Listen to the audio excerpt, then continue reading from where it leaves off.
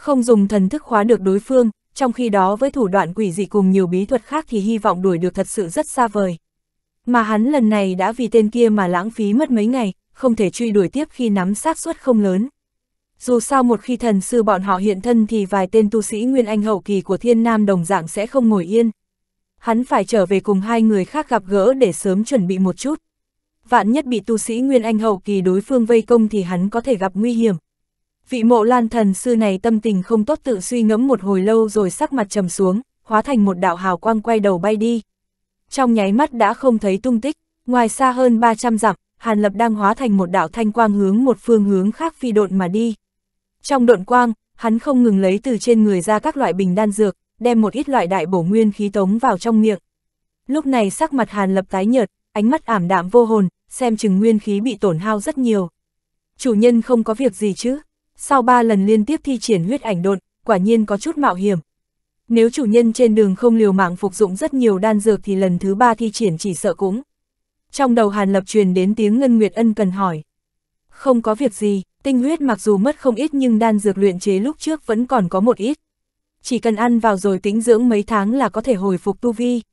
Hàn Lập chậm rãi trả lời, thanh âm có chút huệ oải. Chúng ta sẽ trở về Điền Thiên Thành sao? Nghe Hàn Lập nói như thế, Ngân Nguyệt sau khi hít một hơi lại trần chờ hỏi. Đương nhiên là không, bây giờ tình huống của ta không ổn, tối thiểu cũng phải sau khi khôi phục tu vi thì mới có thể quay về cửu quốc minh. Nơi đó long xà hỗn tạp, ta lại cùng quỷ linh môn kết oán không nhỏ thì rất dễ bị người ám toán. Ta sẽ không mạo muội quay về nơi nguy hiểm đó đâu. Cũng may ta chỉ cần dùng đan dược chữa thương mà không cần chỗ có linh mạch để điều trị nên có thể tùy tiện tìm một chỗ không người nào bế quan một thời gian. Huống hồ thanh trúc phong vân kiếm lại dính nhiễm thanh sắc đăng diễm. Mặc dù ta đã dùng tử la thiên hỏa mạnh mẽ áp chế nó nhưng vẫn tồn tại hậu hoạt phải nghĩ biện pháp khu trừ đi mới được. Hàn lập than thở, bất đắc dĩ nói, cái đèn bằng đồng kia là bảo vật truyền thừa của mộ lan nhân, tự nhiên phải có quỷ đạo ở bên trong. Bất quá, tiểu tì tin tưởng chỉ cần chủ nhân dùng thời gian nhiều một chút thì trung quy có thể đem nó luyện hóa. Dù sao tử la thiên hỏa của chủ nhân cũng không phải là thần thông tầm thường ngân nguyệt khẽ cười một tiếng khuyên giải hàn lập đôi câu. Chuyện đã đến thế này thì cũng chỉ có thể chậm rãi giải quyết mà thôi. Hàn lập cười khổ một tiếng nói. Tiếp theo hàn lập không nói gì nữa, vận chuyển linh lực còn sót lại trong cơ thể, thúc giục pháp quyết, thanh quang lại nhanh hơn ba phần, hướng xa xa phi độn đi. Sau khi phi độn một ngày một đêm hàn lập mới dừng lại, hạ xuống một ngọn núi nhỏ vô cùng bình thường. Khoảng cách xa như vậy, cho dù mộ lan thần sư không cam lòng thì cũng không có khả năng truy đuổi được. Hàn lập đánh giá xung quanh vài lần, chỗ này vừa lúc lọt giữa hai tòa núi hoang, linh khí thừa thất đến mức không thể nhận ra, hơn nữa toàn bộ đều là núi đá, không có chút cây cối.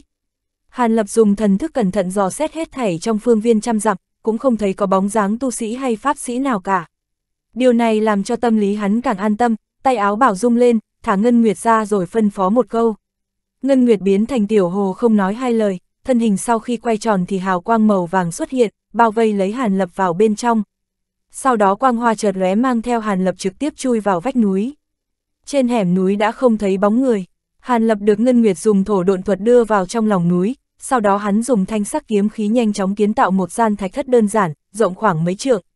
Sau khi thân hình chợt lóe, Hàn Lập tiến vào trong khoanh chân ngồi xuống. Không bao lâu sau, Hàn Lập hai mắt nhắm nghiền, trên người thanh quang lưu chuyển, trước mặt đặt hơn 10 bình đan dược lớn nhỏ. Hắn trước hết đem mấy loại đan dược phục dùng lúc chạy trốn luyện hóa xong rồi sau đó mới dám dùng các loại tiếp theo. Kể từ đó, Hàn Lập ở trong lòng núi này lẳng lặng bế quan khôi phục nguyên khí. Nhưng có một sự việc Hàn Lập không ngờ tới đó là tổn hao nguyên khí nhiều hơn so với dự đoán ban đầu của hắn nên thời gian tĩnh dưỡng tự nhiên cũng dài thêm không ít. Thời gian buồn tẻ chỉ có uống thuốc, đà tọa từ từ trôi qua. Bất chi bất giác đã được nửa năm, Hàn Lập vẫn ở trong lòng núi, chưa từng xuất quan. Nhưng bên ngoài lúc này phong ba xuất hiện, biến hóa vô thường, đại chiến sinh tử giữa tu sĩ và pháp sĩ đang muốn bùng phát. Điều càng khiến cho Hàn Lập kinh ngạc chính là cái tên Lạc Vân Tông Hàn trưởng lão giờ phút này đều là đại danh đỉnh đỉnh vô luận tại tu tiên giới thiên nam hay là trong đại quân pháp sĩ. Bất cứ một tu sĩ hoặc pháp sĩ cấp cao nào khi nghe đến danh tự của hắn đều liên tưởng đến một tu sĩ có thần thông và thực lực thuộc vào cấp Nguyên Anh Trung Kỳ, không ai dám có ý khinh thị. Mà tất cả điều này chỉ mới phát sinh trong nửa năm gần đây mà thôi.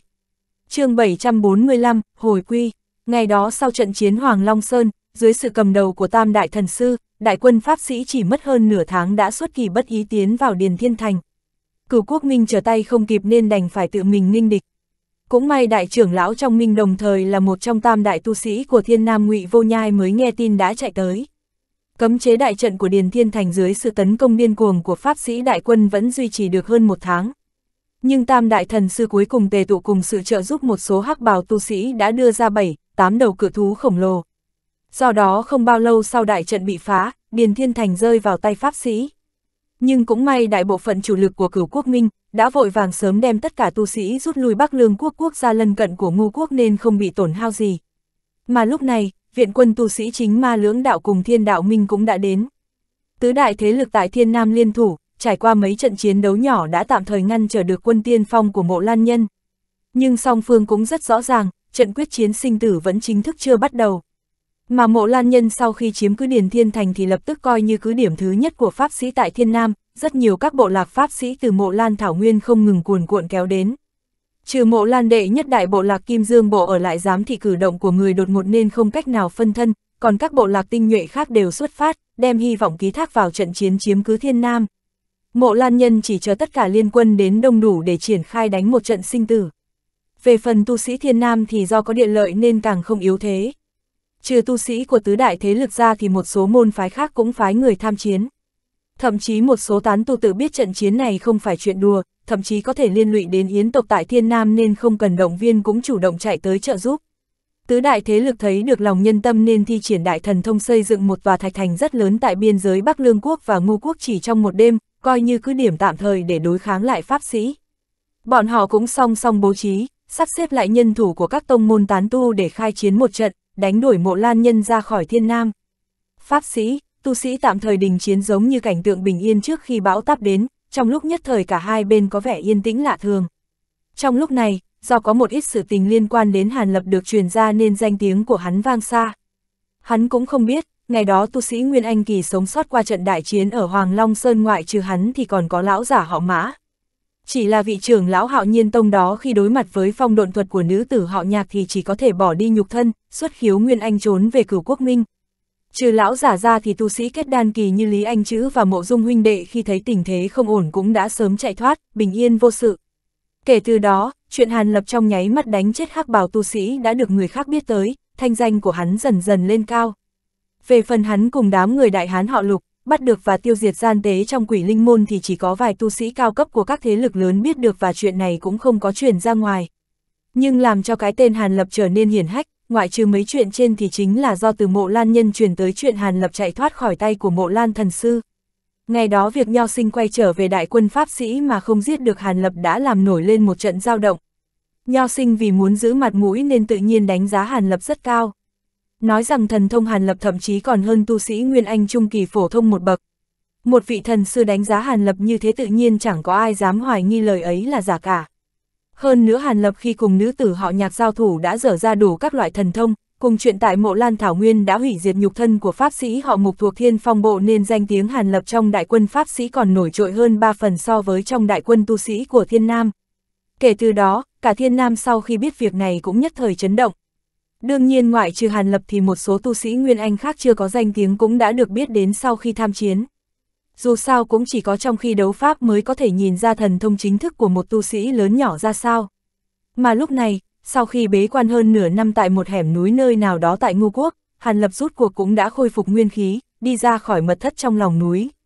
Phụng Thác là pháp sĩ trúc cơ kỳ của một tiểu bộ lạc trong mộ lan tộc, mặc dù hắn trong bộ lạc vẫn được người người kính sợ gọi là tiên sư nhưng sau khi tới Điền Thiên Thành lại thành kẻ có hay không có cũng được. Hôm nay hắn từ một cứ điểm nằm gần biên giới Bắc Lương Quốc đi ra, mang theo một tiểu đội pháp sĩ luyện khí kỳ tuần tra dọc biên giới theo lộ tuyến chạy dài mấy trăm dặm để dò xét, phòng ngừa tu sĩ Thiên Nam đột nhiên tập kích. Từ cứ điểm đi ra dò xét đã non nửa ngày, tính toán thời gian cũng đã đến lúc nhóm pháp sĩ khác lại đây thay phiên. Chỉ cần đi tới phía trước hơn 10 dặm nữa là có thể phản hồi. Phụng Thác trong lòng thầm nghĩ, hắn nhớ tới hai ngày trước đây mới được phát hơn 10 khối linh thạch, cảm giác được mình có hy vọng đột phá bình cảnh, thoát khỏi giai đoạn trúc cơ sơ kỳ nên rất muốn nhanh trở về đả tỏa tu luyện. Hắn mong trước khi đại chiến có thể nâng cao tu vi thêm một tầng. Nếu có thể trong đại chiến lập công thì sau đó được linh thạch được tưởng thưởng sẽ không ít.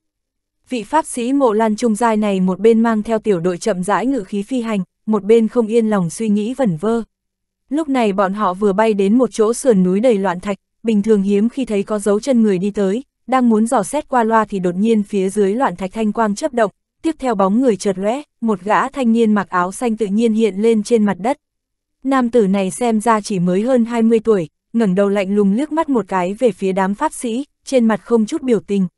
Tu sĩ thiên nam, ít nhất cũng ngoài kết đan kỳ, căn bản nhìn không ra tu vi đối phương sâu cạn thế nào cả. Phụng Thác khi thấy rõ thanh niên nọ liền dùng thần thức đảo qua, sau khi phán đoán thì không khỏi hít một hơi lạnh. Mau rút lui, người này không phải là kẻ chúng ta có thể đối phó được. Phụng Thác cũng xem như cơ trí, sau khi vội vàng hô năm sáu gã pháp sĩ cấp thấp phía sau một tiếng thì vội vàng quăng ra một cái túi linh thú tinh xảo. Nhất thời một đạo hồng quang từ trong túi bắn ra, sau khi xoay quanh một cái thì lao về hướng có cứ điểm. Nhưng vào lúc này, trên không trung bạch quang chợt lóe, một thiếu phụ mặc quần áo màu trắng xuất hiện bên cạnh đạo hồng quang, mỉm cười hé miệng, phun ra một đoàn phấn hồng hương vụ, đem hồng quang bao ở trong đó. Một tiếng chim hót thanh thúy truyền ra, hồng quang vội vã tán đi rồi một chim nhỏ màu đỏ từ trên không trung rơi xuống. Thiếu phụ phất tay một cái, con chim nhỏ bay về phía nàng. Thấy tình hình đó tâm tình của Phụng Thác trầm xuống, hắn cũng bất chấp những người khác, vội vàng hai tay bắt quyết, hoàng quang trên người trói lòa, muốn thi triển linh thuật chạy trốn ra ngoài dặm để bảo vệ tiểu mệnh. Nhưng vào lúc này, trên đỉnh đầu đám pháp sĩ không biết khi nào tự nhiên hiện ra một cái ngân sắc cự trung. Đang, một âm thanh nhỏ vang lên, Phụng Thác cảm thấy đầu óc choáng váng, trời đất quay cuồng rồi từ không trung rơi xuống. Vài tên pháp sĩ luyện khí kỳ khác lại càng tồi tệ hơn. Sau khi nghe thấy tiếng chuông, trong phút chốc hai mắt tối sầm, cũng ngã xuống không biết sống chết ra sao. Thiếu phụ áo trắng thấy vậy, thân hình liền nhoáng lên, xuất hiện bên cạnh Phụng Thách, tay nắm lấy cổ áo rồi nhẹ nhàng hạ xuống dưới. Chủ nhân, người này là người cầm đầu hẳn sẽ biết nhiều chuyện hơn một chút. Sau khi hạ xuống đất, thiếu phụ mỉm cười ngọt ngào, nói với thanh niên. Hai người này tự nhiên là Hàn Lập cùng Ngân Nguyệt sau khi xuất quan đã phát hiện thấy tình hình ngu quốc thất thủ. Hàn Lập tùy tiện bắt một gã pháp sĩ cấp thấp, sau khi biết thông tin đại khái liền mang theo Ngân Nguyệt lặng lẽ lẻn đến biên giới. Nguyên hắn định trực tiếp xuyên qua biên giới nhưng vừa lúc phát hiện ra đội tuần tra của Phụng Thác. Hàn Lập trong lòng vừa động, lúc này quyết định bắt sống thêm một gã pháp sĩ để hỏi cụ thể tình hình biên giới nhằm tránh đụng đầu, xui xẻo tiến vào chỗ đóng quân của một gã thần sư. Dưới sự phối hợp mộng dẫn thuật của Hàn Lập với mê hồn huyễn thuật của Ngân Nguyệt, cả hai người rất nhanh chóng biết được điều cần thiết. Hàn Lập thở phào nhẹ nhõm, chỗ biên giới này thật sự do tam đại thần sư thay phiên chấn thủ nhưng đoạn đường phía trước cách cứ điểm của thần sư ở khá xa. Chỉ có một gã mộ lan đại thượng sư đóng quân mà thôi. Lấy tu vi của Hàn Lập thì việc ẩn giấu đi qua hoàn toàn không thành vấn đề. Nhìn gã tù binh đang hôn mê bất tỉnh một chút, Hàn Lập liền nhíu mày. Vì muốn lấy tin tình báo nhanh nên Hàn Lập tự nhiên sử dụng thủ pháp bá đạo, thần trí của vị tù binh này đã bị hủy đến 7-8 phần, có tỉnh lại cũng là một phế nhân. Hàn Lập than nhẹ một tiếng, ngón tay bắn ra một viên hỏa cầu đem người này hóa thành cho bụi. Sau đó thanh sắc hà quang trên người lóe lên, bao lấy ngân nguyệt vào bên trong rồi hóa thành một đạo thanh hồng, phá không mà đi. Ở phía bên kia biên giới của Bắc Lương Quốc, trong tòa thạch thành thiên nhất do thiên nam tu sĩ mới kiến tạo, trong một gian thính đường không lớn nằm ở một góc của thành này có vị lữ sư huynh của Hàn Lập đang cùng vài tu sĩ cao cấp thiên đạo minh nhàn đàm việc gì đó nhưng trong ánh mắt vẫn có chút hoảng hốt, tâm thần không yên. Lại nói tiếp, nếu lúc trước hắn đã tham gia vào trận chiến ngăn chặn trì hoãn đội Pháp sĩ tiên phong thì nay có thể trở về Lạc Vân Tông. Nhưng Lạc Vân Tông hôm nay tổng cộng cũng chỉ có hai tu sĩ Nguyên Anh Kỳ là hắn cùng Ngân Phát Lão Giả, trong đó Ngân Phát Lão Giả nguyên khí chưa phục hồi nên cũng không thể dẫn đệ tử Lạc Vân Tông tới tham gia đại chiến vì vậy hắn chủ động yêu cầu lưu lại để chiếu cố đệ tử bổn tông một chút. Đương nhiên một nguyên nhân khác không chịu rời đi tự nhiên cũng là do Lạc Vân Tông Hàn trưởng lão gần đây thanh danh hiển hách không biết đang ở nơi nào. Lữ tu sĩ trong lòng lo âu, không biết Hàn Lập có gặp chuyện gì không may hay không, không có cách ra rứt ra được. Lại nói tiếp, việc Hàn Lập có thể giết chết tu sĩ Nguyên Anh kỳ khác, thậm chí có thể ở chạy thoát từ trong tay mộ lan thần sư, đến nay vẫn làm cho vị lữ trưởng lão này có chút khó có thể tin được. Dù sao người khác không rõ ràng nhưng chính bản thân hắn tự mắt nhìn thấy Hàn Lập vừa mới ngưng kết Nguyên Anh được mấy năm. Như thế nào có thể trong thời gian ngắn đến vậy mà có được thần thông nghịch thiên đó. Thậm chí còn được mộ lan thần sư đánh giá thần thông hơn cả tu sĩ Nguyên Anh Trung Kỳ một bậc nữa chứ. Chẳng lẽ Lạc Vân Tông bọn họ lần này thật sự nhặt được bảo bối. Vị hàn sư đệ này đúng là kỳ tài tu tiên ngàn năm khó thấy. Bây giờ Lữ Lạc mặc dù ngồi ở trong thính đường nhưng trong lòng lại nhớ tới việc này, tai tuy vẫn nghe người khác nói nhưng đầu óc thì không biết đang để đâu đâu. chương 746, Nghĩa muội Lữ Huynh, Quý Tông vẫn chưa nhận được tin tức gì của Hàn trưởng lão hay sao? Một lão già ngồi đối diện với Lữ Lạc khách khí hỏi. Vị này tên là Từ Trường Cảnh, có tu vi Nguyên Anh Sơ Kỳ, trưởng lão Thủy Ảnh Tông của Thiên Đạo Minh vừa mới đến Thiên Nhất Thành hôm qua, trước kia cũng có vài lần gặp Lữ Lạc. Tạm thời chưa có, sao vậy, Từ Huynh cũng quan tâm tới Hàn Sư Đệ ư. Lữ Lạc đầu tiên là ngẩn ra những rất nhanh đã mỉm cười trả lời. Ha ha, tất nhiên rồi, nghe ý huynh hình như cũng có đạo hữu khác từng hỏi qua vấn đề này. Cũng khó trách khi chưa đến đây ta đã từng nghe qua rất nhiều truyền ngôn liên quan đến Hàn đạo hữu. Hắc hắc, Tu Vi chỉ có Nguyên Anh sơ kỳ vậy mà lại chạy thoát khỏi tay của mộ lan thần sư, đúng là rất khó tin, đó không phải là điều chúng ta có thể làm được. Hơn nữa ta từng nghe nói vị hàn đạo hữu này mới kết Nguyên Anh được có mấy năm. Không biết việc này thật hay giả, nếu vậy thì đúng là kinh người. Từ trường cảnh cười trả lời, vừa nghe lão già nói như vậy thì vài tu sĩ còn lại cũng liếc nhau một cái. Tất cả đều rất hứng thú nhìn về phía Lữ Lạc, những tin đồn về Hàn Lập bọn họ ít nhiều cũng đều nghe qua nhưng còn chuyện tình liên quan đến việc Hàn Lập mới kết Nguyên Anh thì chưa có nghe ai nói cả. Cái này, Hàn Sư đệ quả đúng là mới tiến vào Nguyên Anh chưa lâu.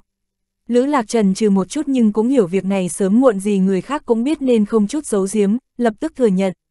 Những người ngồi trong đại sảnh không khỏi biến sắc, thậm chí có hai người còn hít sâu một hơi. Hàn trưởng lão tuổi trẻ mà đã giỏi như vậy thì sau này nhất định có khả năng tiến vào Nguyên Anh hậu kỳ. Tại hạ trước tiên là chúc mừng Lữ Huynh, sự hưng thịnh của Lạc Vân Tông chỉ trong ngày một ngày hai mà thôi. Đến lúc đó thiên đạo minh chúng ta cũng sẽ tăng thêm một vị đại tu sĩ nữa. Từ trường cảnh càng giật mình, trong giọng nói còn mang theo chút hâm mộ. Mấy người còn lại cũng không sai biệt lắm, đồng dạng nói vài câu khen tặng, trong lòng Lữ Lạc cũng có đôi chút tự đắc nhưng ngoài miệng lại nói vài lời khiêm nhường. Dù hàn trưởng lão đã chạy thoát khỏi tay của thần sư nhưng e là bị thụ thương không nhẹ. Nếu không tại sao lâu vậy mà vẫn chưa thấy xuất hiện. Lữ huynh tốt nhất là nên cử nhiều người đi tìm kiếm một chút. Nếu không đủ, bổn môn có thể phái thêm vài đệ tử trợ giúp. Một trung niên nhân có đôi mi dài thô lên tiếng, thanh âm đôi chút lãnh đạm. Chuyện này Lữ mố cũng không hiểu rõ lắm, chắc là sư đệ đang ở tại một nơi nào đó để tĩnh dưỡng, phục hồi nguyên khí. Nghe thế trong lòng Lữ Lạc cũng có chút căng thẳng nhưng lập tức thần sắc bình thường, trả lời. Lữ Lạc cũng là lão già sống lâu thành tinh rồi nên tất nhiên rất dễ dàng nhận ra chút ghen tức trong giọng nói của đối phương. Vị này là một trưởng lão thuộc tông phái mạnh nhất của thiên đạo Minh Loan Minh Môn, đôi phu thê trưởng lão của môn phái này nếu liên thủ thì có thể chống cự lại tam đại tu sĩ của thiên nam, nếu không thì sao họ có thể ngồi ở ghế trên được. Bây giờ nghe nói trưởng lão Lạc Vân Tông sau này có thể tiến vào Nguyên Anh hậu kỳ nên trong lòng có chút không thoải mái, âm thầm dội một gáo nước lạnh. Nhưng biểu hiện ra ngoài lại rất chính trực khiến người khác không thể vặn hỏi được gì. Không khí có chút xấu hổ nhưng đột nhiên có một đạo hồng quang từ bên ngoài bay vào, rất nhanh bắn về phía Lữ Lạc. Mọi người vừa thấy liền chăm chú nhìn, Lữ Lạc cũng vô cùng kinh ngạc nhưng vẫn hướng về phía hồng quang khẽ ngoắc tay một cái. Nhất thời hồng quang biến thành một đoàn liệt hỏa rơi xuống tay hắn. Thần thức Lữ Lạc lập tức đắm chìm vào trong đó nhưng một lát sau khuôn mặt khẽ lộ vẻ kinh hỉ. Hàn sư đệ của bổn tông đã vào thành, bây giờ đang dừng chân tại cứ địa của tông môn, Lữ mỗ xin cáo từ trước, trong lòng hắn khó kiếm chế nổi hưng phấn, vội vã giải thích một câu rồi cáo từ. Nhìn thấy thế những người khác đồng dạng đều trợn trừng mắt, hiện lên đủ loại thần sắc. Ai cũng không nghĩ đến việc mình vừa nhắn đến vị hàn trưởng lão kia thì ngay lập tức đối phương đã xuất hiện. Từ trường cảnh vuốt ve tròm dâu như là đang suy nghĩ cái gì đó, còn trung niên nhân mi dài kia nhìn có vẻ bình thường nhưng nếu để ý kỹ sẽ thấy ở sâu trong mắt hiện lên vẻ âm trầm. Thiên nhất thành dù mới được kiến tạo nhưng cả tứ địa thế lực, vô luận tông môn lớn bé đều có nơi cứ địa. Dựa theo thế lực phạm vi thì hình thành bốn khu vực lớn.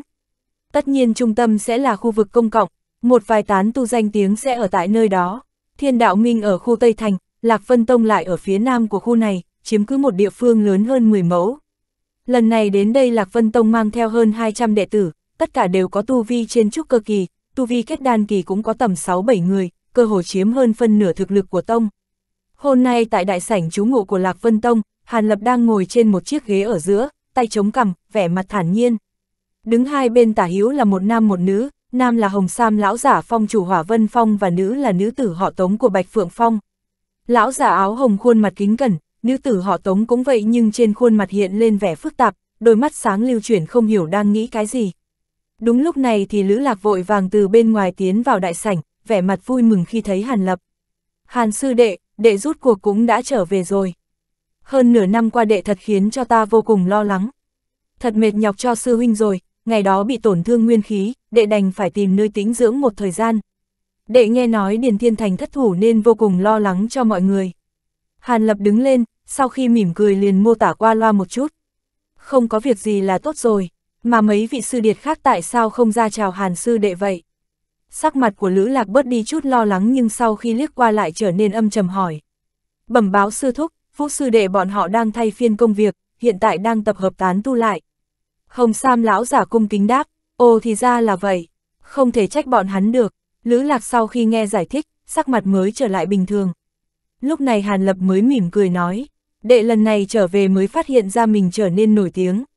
Chuyện có quan hệ với đệ hình như truyền ra ngoài không ít thì phải. Hắn trên đường có nghe một vài tu sĩ nói chuyện về mình nên không khỏi cảm thấy có chút ngoài ý muốn. Ha ha, về chuyện này ta đang muốn nói rõ cùng sư đệ đây, hai người các ngươi lui ra đi. Ta muốn cùng hàn sư thúc của các ngươi nói chuyện riêng một lát. Lữ lạc ha ha cười, đang muốn nói nhưng sau đó ánh mắt dừng lại trên hồng sam lão giả và nữ tử kia, lạnh nhạt phân phó một câu. Hai người tất nhiên không chậm trễ vội vàng vâng dạ lui ra ngoài. Chỉ là cô gái kia trước khi ra ngoài ánh mắt còn liếc nhìn Hàn Lập một cái. Trong lòng Hàn Lập có chút tự hỏi nhưng thần sắc vẫn không đổi giống như không phát hiện ra điều gì cả.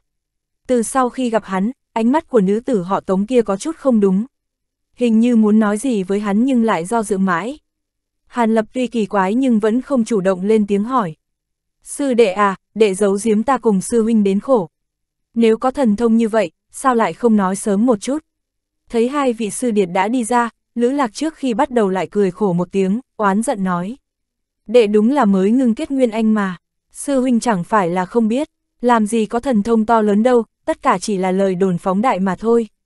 Hàn Lập lắc đầu bất đắc dĩ nói, được rồi, sư đệ không cần quá khiêm tốn đâu, tuy mộ lan thần sư là kẻ địch nhưng những nhận xét đối với đệ chắc chắn sẽ không sai biệt nhiều lắm. Tuy nhiên khiến ta và sư huynh càng kinh ngạc chính là sư đệ có thể lừa gạt được một nữ tử nguyên anh của Yểm Nguyệt Tông. Điều đó khiến hai người bọn ta cực kỳ bội phục đó ha ha. Lữ Lạc cười rất gian trá, vẻ mặt quỷ dị nói. Sao, sư huynh đã gặp Uyển Nhi rồi à? Sắc mặt Hàn Lập có chút biến đổi, hỏi.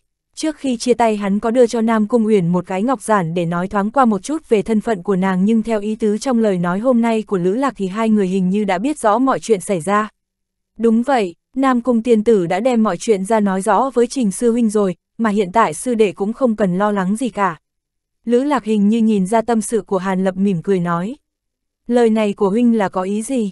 Hàn Lập nhớn mày có chút không hiểu hỏi. Sư đệ vẫn chưa biết sao. Mấy tháng trước Hiểm Nguyệt Tông đột nhiên truyền ra tin tức Nam Cung tiên tử tu luyện bị tẩu hỏa nhập ma nên đã vẫn lạc. Hồn ước cùng ngụy ly thần của hóa ý môn đã được giải trừ. Trong khi đó Trình Sư Huynh đột nhiên nhận một nữ tử tên là Uyển Nhi làm nghĩa muội, đồng thời còn muốn gả cho sư đệ làm đạo lữ song tu, không biết ý sư đệ thế nào. Lữ lạc nháy nháy mắt, cười hi hi hỏi Hàn Lập. Uyển Nhi đã bái Trình Sư Huynh làm nghĩa huynh, Hàn Lập nghe xong liền trợn mắt há hốc mồm. Không sai, Sư Huynh đã nói thế, chỉ cần tu sĩ thiên nam đánh lùi được người mộ lan, đến lúc đó sẽ quang minh chính đại cử hành xong tu đại điển của đệ với nghĩa muội. Cho dù một số người hoài nghĩ nhưng gạo đã nấu thành cơm, bọn họ sao dám đắc tội với cả thiên đạo minh chúng ta. Ngay cả ngụy vô nhai có biết đi chăng nữa thì dưới tình huống liên thủ cự địch, chỉ có thể nhắm mắt cho qua mà thôi. Hơn nữa danh tiếng hiện nay của sư đệ cũng không phải là nhỏ. Người yểm Nguyệt Tông và Hóa Ý Môn hơn phân nửa sẽ giả vờ như không biết chuyện đó. Lữ Lạc ra vẻ sành sỏi nói, nghe xong việc này sắc mặt Hàn Lập có chút phức tạp, sau khi im lặng một lúc lâu mới thở dài một hơi, chậm rãi nói lần này vì sự việc của đệ mà đã khiến cho hai vị sư huynh phí tâm. Ân tình này đệ xin ghi nhớ trong lòng, dù Hàn Lập chỉ nói đơn giản mấy câu nhưng khiến cho Lữ Lạc vô cùng mừng rỡ. Hắn và Trình sư huynh hao tổn bao nhiêu tâm cơ mới khiến cho vị sư đệ này nhận lấy một mối ân tình đó. Có những lời này dù Hoàng Phong Cốc có muốn chiêu dụ Hàn Lập, phỏng chứng hơn phân nửa sẽ không thể nào thành công. Ha ha, Hàn sư đệ và hai sư huynh chúng ta đều là người một nhà, hà tất phải khách khí như thế. Đúng rồi, Nam Cung cô nương khi nghe tin sư đệ mất tích thì có chút lo lắng, nguyên muốn tự mình đi tới đây nhưng trình sư huynh phải thuyết phục mãi mới ngăn được. Dù sao tu sĩ hiểm nguyệt tông và hóa ý môn ở đây không ít, khi chưa chính thức cử hành xong tu đại điển cùng sư đệ thì tốt nhất là Nam Cung sư muội không nên gặp mặt bọn họ. Về vị thiếp của sư đệ thì huynh đã kêu đệ tử hộ tống về rồi. Nơi đây sẽ xảy ra đại chiến, thực sự quá nguy hiểm. Trong lời nói của Lữ Lạc bao hàm ý tứ vô cùng thân thiết. chương 747, điều kiện. Nghe thấy lời ấy của Lữ Lạc, trong đầu Hàn Lập hiện lên tình cảnh gặp mặt giữa Nam Cung Uyển và Mộ Phái Linh, trong lòng liền nổi sóng nhưng trong miệng vẫn nói lời cảm ơn. Sư đệ sau này có tính toán gì không? Theo ước định thì sư đệ chỉ cần ra tay một lần còn những trận chiến tiếp theo sẽ không cần tham gia. Nhưng trước đây mấy ngày khi cao tầng tránh ma lưỡng đạo, thiên đạo minh và cửu quốc minh thương nghị đối sách thì có người đề cập đến sư đệ. Họ nói rằng sư đệ có khả năng giết chết tu sĩ hắc bào trong chốc lát có nghĩa là công pháp khắc chế được địch nhân. Vì thế mà trong trận đại chiến sắp tới, ai cũng hy vọng sư đệ có thể tham gia. Đại biểu của thiên đạo minh chúng ta cũng thấy sư đệ là một người có thực lực, nếu không xuất chiến chỉ sợ có chút nói không xuôi. Vì thế, sắc mặt của Lữ Lạc có chút chủ trừ, ấp úng nói. Tiếp tục tham gia tất nhiên là được, nếu thiên nam thật sự bị người mộ lan chiếm cứ thì Lạc Vân Tông chúng ta cũng chẳng tốt đẹp gì. Nhưng mà hứa hẹn lúc trước trong minh định xử lý như thế nào? Sẽ không phải là nói chơi chứ, nếu thật thì tính ra sao? Ngoài dữ liệu của Lữ Lạc, Hàn Lập lại không hề tức giận mà chỉ cười lạnh hỏi. Tất nhiên là không, hơn nữa sư đệ xử lý được một gã gian tế của ngự linh tông và giết chết một tu sĩ hắc bào, công lao rất to lớn. Trong Minh đã hứa hẹn nếu đệ tiếp tục tham chiến thì bọn họ sẽ tận lực thỏa mãn yêu cầu của sư đệ coi như là bồi thường. Lữ Lạc cười khổ nói, nguyện ý bồi thường, vậy thì tốt rồi, về điều kiện cụ thể, đệ muốn trực tiếp gặp người chủ sự để bàn bạc. Hàn Lập nghe vậy lạnh nhạt nói, thế cũng tốt, ta sẽ đưa đệ đi gặp mặt vài vị chủ sự thiên đạo minh. Chỉ cần điều kiện của sư đệ không quá phận, bọn họ sẽ có thể làm chủ đáp ứng. Lữ Lạc mỉm cười, trong lời nói có ý tứ nhắc nhở. Sư huynh yên tâm, đệ sẽ không tham lam đâu để tránh cho sư huynh khỏi phải khó xử. Hàn Lập cười khẽ một tiếng rồi chậm rãi trả lời. Sư đệ nói đùa rồi, không cần để tâm đến mặt mũi của ta đâu, khó có cơ hội thấy được mấy lão già này hào phóng. Đệ muốn gì thì cứ nói, thấy Hàn Lập hiểu được ý tứ của mình, lại có chừng mực, trong lòng của Lữ Lạc nhẹ nhõm nhưng ngoài miệng lại nói một kiểu khác. Hàn Lập nghe vậy thì vẻ mặt cười như không cười, im lặng không nói thêm gì nữa. Hàn Lập theo chân Lữ Lạc rời khỏi cứ địa của Lạc Vân Tông đi tới đại điện nghị sự của Thiên Đạo Minh. Chủ sự Thiên Đạo Minh của chúng là trưởng lão hội do 10 tu sĩ hợp thành. Cách 10 năm sẽ thay đổi một số trong đó. Đương nhiên người của ba phái khởi xướng liên minh là Loan Minh Tông, Cổ Kiếm Môn và Nghê Hàng Trai thì không thay đổi. Sự tình trong minh kỳ thực đều do ba nhà đó quyết định. Nhưng so sánh ra thì thực lực của Loan Minh Tông hơn một bậc so với Cổ Kiếm Môn và Nghê Hàng Trai. Chủ sự ở Thiên Nhất Thành này chính là hai vị đạo hữu Long Hàm cùng Phượng Băng của Loan Minh Tông, chắc đệ cũng có biết. Hai người là đôi phu phụ song tu, khi liên thủ có thể địch lại tu sĩ Nguyên Anh hậu kỳ. Bổn Minh có thể đối kháng với thế lực khác, tất cả đều nhờ hai người này. Tuy nhiên hiện tại chỉ có Long Hàm đạo hữu là xuất đầu lộ diện, trưởng lão Phượng Băng vừa mới đến Thiên Nhất Thành liền bế quan, tựa hồ như đang tu luyện một loại bí thuật đến giai đoạn quan trọng. Sư đệ chỉ cần đàm luận với mấy trưởng lão chủ sự ở đây là được vì trưởng lão hội chắc chắn sẽ thông qua. Đại điện nghị sự trừ Long Hàm đạo hữu ra còn có trưởng lão của hai đại tông môn khác trú ngụ ở đó. Lữ lạc một bên sánh vai song hành cúng Hàn Lập, một bên giải thích một chút sự tình trong thiên đạo minh cho hắn nghe. Việc này thì Hàn Lập đã sớm biết nhưng chỉ yên lặng nghe và gật đầu. Nghị sự đại điện nằm ở trung tâm phía tây thành, sau khi thong dong đi trong chốc lát, hai người đã đến nơi. Một mảng lầu các hùng vĩ, bao quanh một tòa đại điện bằng đá xanh xuất hiện trước mặt hai người. Tham kiến lữ tiền bối, tiền bối muốn gặp mấy vị trưởng lão sao? Vị tiền bối này là, mấy tu sĩ trúc cơ kỳ gác cửa hiển nhiên là nhận ra vị lữ lạc trưởng lão của Lạc Vân Tông. Một người trong số đó cung kính thi lễ rồi cực kỳ khách khí hỏi han. Khi ánh mắt nhìn đến Hàn Lập thì sắc mặt có chút nghi ngờ hỏi. Đây là Hàn trưởng lão của bổn tông, lần này đến để yết kiến mấy vị long trưởng lão. Lữ lạc khuôn mặt không đổi thản nhiên nói, a hóa ra là hàn tiền bối, mời hai vị chờ một chút, mấy vị trưởng lão đang ở trong đại điện, vãn bối chỉ cần thông báo một chút là được. Tu sĩ kia cả kinh, ngạc nhiên nhìn nhìn hàn lập, sau đó thần sắc lại càng thêm cung kính. Hiển nhiên hắn biết hàn lập là người nào, hắn lấy ra một đạo truyền âm phù, sau khi hướng về phù nói mấy cây thì vung tay, ném lá phù lên. Một đạo hồng quang nhanh chóng bay vào bên trong, một lát sau đại điện truyền ra ba tiếng chuông du dương vị tu sĩ trúc cơ kỳ này vừa nghe thấy liền khom người đứng qua một bên, cung kính nói. Xin mời hai vị tiền bối vào, mấy vị trưởng lão đã biết hai vị đến rồi.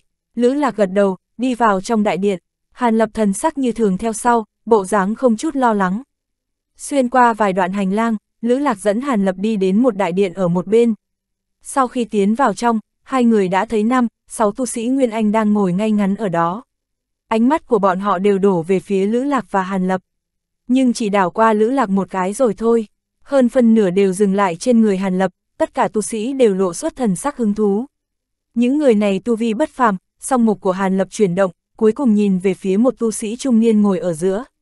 Vị này mặc áo màu cho, tướng mạo kỳ vĩ, rất có cốt cách, tu vi so với tu sĩ Nguyên Anh Trung Kỳ bình thường cao hơn rất nhiều. Dĩ nhiên đã tiến tới trạng thái đỉnh phong, chỉ còn thiếu một bước nữa là có thể tiến nhập vào giai đoạn hậu kỳ. Hàn Lập dùng mình, lập tức biết đây chính là Long Hàm trưởng lão của Loan Minh Tông. Tu vi người này cao thâm như thế, chẳng trách được mà hắn liên thủ cùng với đạo lữ song tu lại có thể đối kháng được với tu sĩ Nguyên Anh hậu kỳ. Nguyên Hàn lập tưởng rằng lời đồn có chút phóng đại nhưng xem ra lại có chút đề thấp tu vi của Long Hàm. Khi mà những người khác còn chưa nói gì thì trung niên nhân kia mỉm cười. Lữ huynh, vị này chính là Hàn trưởng lão của Quý Tông sao? Mấy ngày nay chúng ta đã nghe danh tiếng như sấm nổ bên tai. Long Hàm đứng dậy, chắp tay chào, sặc mặt cực kỳ thân thiện. Hàn mỗ cũng đã ngưỡng mộ đại danh của Long Hàm đạo hữu từ lâu. Hàn Lập cẩn thận đánh giá trung niên nhân, đồng thời mỉm cười đáp lễ. Nếu nói về danh tiếng thì trong số tu sĩ gần đây, ai có thể được như Hàn đạo hữu Đạo hữu thực khiến cho thiên đạo minh chúng ta nở mày nở mặt không ít. Ngồi ở bên cạnh trung niên nhân có một lão giả da rẻ trắng trẻo, nửa thật nửa đùa nói. Đạo hữu đã quá lời rồi, không biết phải xưng hô đạo hữu thế nào. Hàn Lập cũng có chú ý tới lão giả nọ bởi vì ngoài Long Hàm gia thì lão ta là người có tu vi Nguyên Anh Trung Kỳ còn lại ngoài Long Hàm gia đang ngồi ở đại điện. Hàn sư đệ, vị này là huống huynh của nghe hàng trai.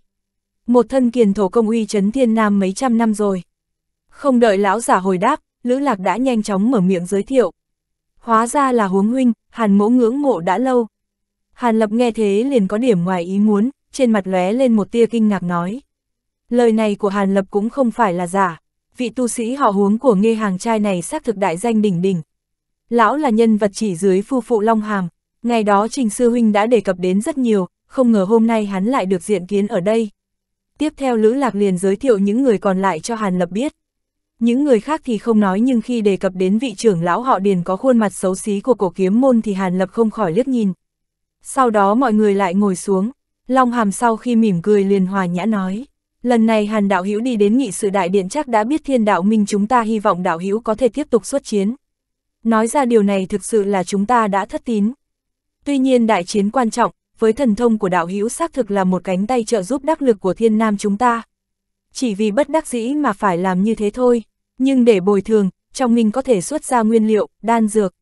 Hàn đạo hữu nếu không vừa ý thì có thể thương lượng điều kiện khác. Trên cơ bản chỉ cần là việc thiên đạo minh có thể làm được thì chúng ta sẽ chẳng chối từ. Long Hàm không hổ là tu sĩ trưởng quản thiên đạo minh đã lâu. Không đợi Hàn Lập nói ra đã xin lỗi trước tiên, cho dù Hàn Lập trong bụng không hài lòng cũng không thể phát tác được. Chẳng qua Hàn Lập vốn không tức giận gì, hắn có thể thoát khỏi tay thần sư của mộ lan thì đại chiến tiếp sau cho dù có kịch liệt cũng thừa sức bảo vệ tính mạng. Nếu đã không lo lắng về điều đó thì hắn tự nhiên sẽ không có gì bực tức. Ngược lại còn nhận thấy đây là một cơ hội hiếm có. Vì thế sau khi trầm ngâm một chút, Hàn Lập liền không khách khí nói. Nếu Long Huynh đã nói như thế thì việc tham gia đại chiến tiếp theo, tại hạ sẽ không chối từ.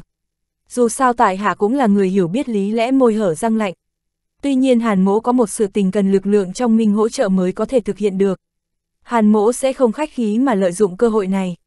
Hàn Lập nói tới đây liền lộ ra vẻ thản nhiên, hắn biết rằng trước mặt mấy lão quái vật này, tốt nhất là nên thành thật một chút, trực tiếp thẳng thắn sẽ càng dễ đạt được mục đích. Quả nhiên mấy câu nói không chút giấu giếm ở trên khiến cho đại bộ phận tu sĩ đang ngồi trong đại điện đều có một ấn tượng không tệ đối với Hàn Lập. Tu sĩ họ huống sau khi cười cười liền nói, Hàn đạo hữu thực là người mau lẹ, thực hợp tính lão phu. Có điều kiện gì, đạo hữu cứ nói ra thử xem. Lão phu cũng có chút tò mò, ánh mắt long hàm chớp động vài cái, mỉm cười nhưng im lặng không nói gì. Những người khác cũng nhìn Hàn Lập để xem hắn rút cuộc lại yêu cầu cái gì. Kỳ thật rất đơn giản, tại hạ hy vọng có thể mượn lực lượng của liên minh thu gom một loại tài liệu luyện khí. Không giấu giếm chư vị, loại này đối với tại hạ rất trọng yếu. Nếu trước khi xảy ra đại chiến có thể tới tay thì việc đối phó tu sĩ hắc bào lại càng nắm chắc thêm vài phần. Thần sắc hàn lập như thường, bình tĩnh nói, tài liệu luyện khí, những người ngồi trong đại điện liếc mắt nhìn nhau, không ai lộ ra vẻ kinh ngạc cả. Với tâm trí của bọn họ tự nhiên biết đó sẽ là một loại tài liệu vô cùng khó tìm. Bằng không Hàn Lập cũng sẽ chẳng lợi dụng cơ hội này để đưa ra điều kiện trao đổi. chương 748, ý ngoại trị ước, nghe lời nói của Hàn Lập, Lữ Lạc bên cạnh đột nhiên nghĩ tới điều gì đó, hình như đã đoán ra. Tài liệu gì, Hàn đạo hữu có thể nói rõ được không? Long Hàm chậm rãi hỏi, tại hạ muốn một chút canh tinh để luyện chế pháp bảo. Hơn nữa số lượng càng nhiều càng tốt nhưng mà mọi người yên tâm. Tại hạ sẽ dùng thứ gì đó cùng giá trị để trao đổi, không phải lấy không. Chỉ cần liên minh trợ giúp thu thập một chút hoặc nghe ngóng xem tin tức hạ lạc ở đâu là được. Hàn Lập bất động thanh sắc nói, vẫn không có cách nào kiếm ra canh tinh để luyện chế đại canh kiếm trận khiến Hàn Lập vô cùng đau đầu. Bây giờ có cơ hội này tất nhiên hắn không thể bỏ qua. Canh tinh, vừa nghe tên tài liệu, sắc mặt của tất cả mọi tu sĩ đang ngồi trong đại điện đều hiện lên vẻ kinh ngạc. Loại tài liệu đại danh đỉnh đỉnh duệ kim chi bảo bọn họ sao lại không biết chứ? Cho dù trong lòng đã đoán trước nhưng đến khi nghe Hàn Lập nói ra loại thiên tài địa bảo nghịch thiên kia thì ai ai cũng phải giật mình. Hàn đạo hữu muốn luyện chế pháp bảo gì mà cần càng nhiều canh tinh càng tốt vậy? Đạo hữu có biết loại đó bình thường chỉ cần pha vào một ít thì uy lực của pháp bảo tăng lên không ít nhưng nếu dung nhập quá nhiều thì hiệu quả lại ngược lại. Lão giả họ huống nhíu mày, có điểm nghi hoặc nói. Tất nhiên là Hàn mỗ biết, tại hạ chỉ muốn hỏi thiên đạo minh chúng ta có thể siêu tập được thế này hay không mà thôi. Thần sắc hắn như thường, lãnh đạm nói, nếu đạo hữu nguyện ý trao đổi công bằng thì việc giúp thu thập hoặc nghe ngóng tin tức liên quan cũng không phải là không được. Tuy nhiên loại tài liệu đó nếu tu sĩ lấy được đều lập tức đem dùng. Mà theo như ý tứ của đạo hữu thì cần số lượng không phải ít.